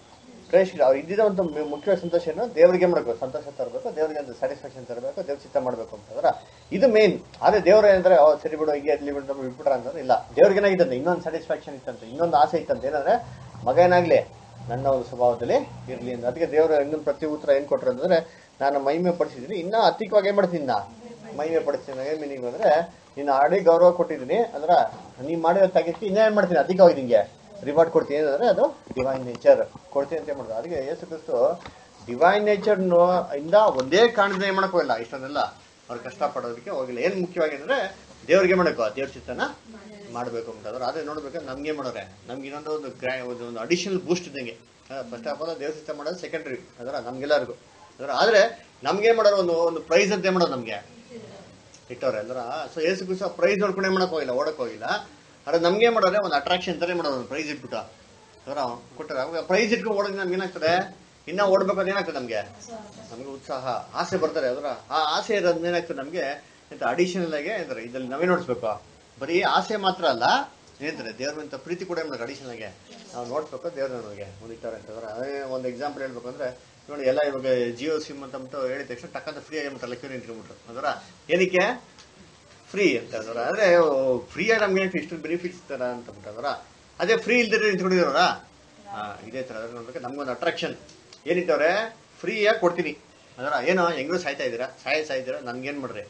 ಸಾಯಿರಿ ಅಂತ ದೇವ್ರು ಹೇಳ್ತಾರೆ ಅಷ್ಟೇ. ಅದರ ಅಂದ್ರೆ ಏನು ಇರೋಂಥ ಒಂದು ಡೆಡ್ ಲೈಫ್ನ ಅದು ದೇವ್ರಿಗೋಸ್ಕರ ನಾವು ಡೆಡ್ ಆಗಿ ಯೂಸ್ ಮಾಡೋದ್ರೆ ದೇವ್ರು ನಮ್ಗೆ ಏನು ಮಾಡ್ತಾರೆ? ಒಂದು ಗ್ರ್ಯಾಂಡ್ ಆಗಿರೋ ಲೈಫ್ ಕೊಡ್ತೀನಿ ಅಂತ ಹೇಳ್ಬಿಟ್ಟು ಅದರ. ಸೊ ಅದೊಂದು ಫ್ರೀ ಆಪರ್ಚುನಿಟಿ ಇದ್ದಂಗೆ. ಅದರ ಅಸಾಧಾರಣ ನೋಡ್ಬೇಕಾದ್ರೆ ಇದನ್ನ ಯೂಸ್ ಮಾಡ್ಕೊಳ್ಳಿ ದೇವ್ರು ನಮ್ಗೆ ಏನ್ ಮಾಡ್ತಾರೆ ಇವಾಗ? ಅಡಿ ಅಡಿಷನಲ್ ಆಗಿ. ಅಡಿಷನಲ್ ಆಗಿ ಒಂದು ಏನಂತಾರೆ, ಒಂದು ಬೂಸ್ಟ್ ಅದರ ಒಂದು ಪ್ರೈಸ್ ಇಟ್ಟಂಗೆ ಅದರ. ಸೊ ಏಸು ಕುಸಿಂಗ್ ಅದಿಲ್ಲ ಅದರ ಏಸು ಕುಸಿಂಗ್ ಇದ್ದಿದ್ದೇನೋ? ಏಸು ಕುಸಿಂಗ್ ದೇವ್ರ ಚಿತ್ತ ಮಾಡ್ತೀವಿ ಅಂತ ಅದು ದೇವರ ಲೆಕ್ಕ ಏನಂತಾರೆ, ಅದನ್ನ ಕಡೆಗಣಿಸಿಲ್ಲ. ಅವ್ರು ಮಾಡಿದ ತ್ಯಾಗನೆ ಮಾಡೋಕೋದ ದೇವರು ಕಡೆಗಣಿಸಿ ಅದಕ್ಕೆ ರಿವಾರ್ಡ್ ಕೂಡ ಇಟ್ಟಿದ್ರು. ಅದರ ಹಾಗೆ ನಮ್ಗೆ ಏನ್ ಮಾಡೋರೆ?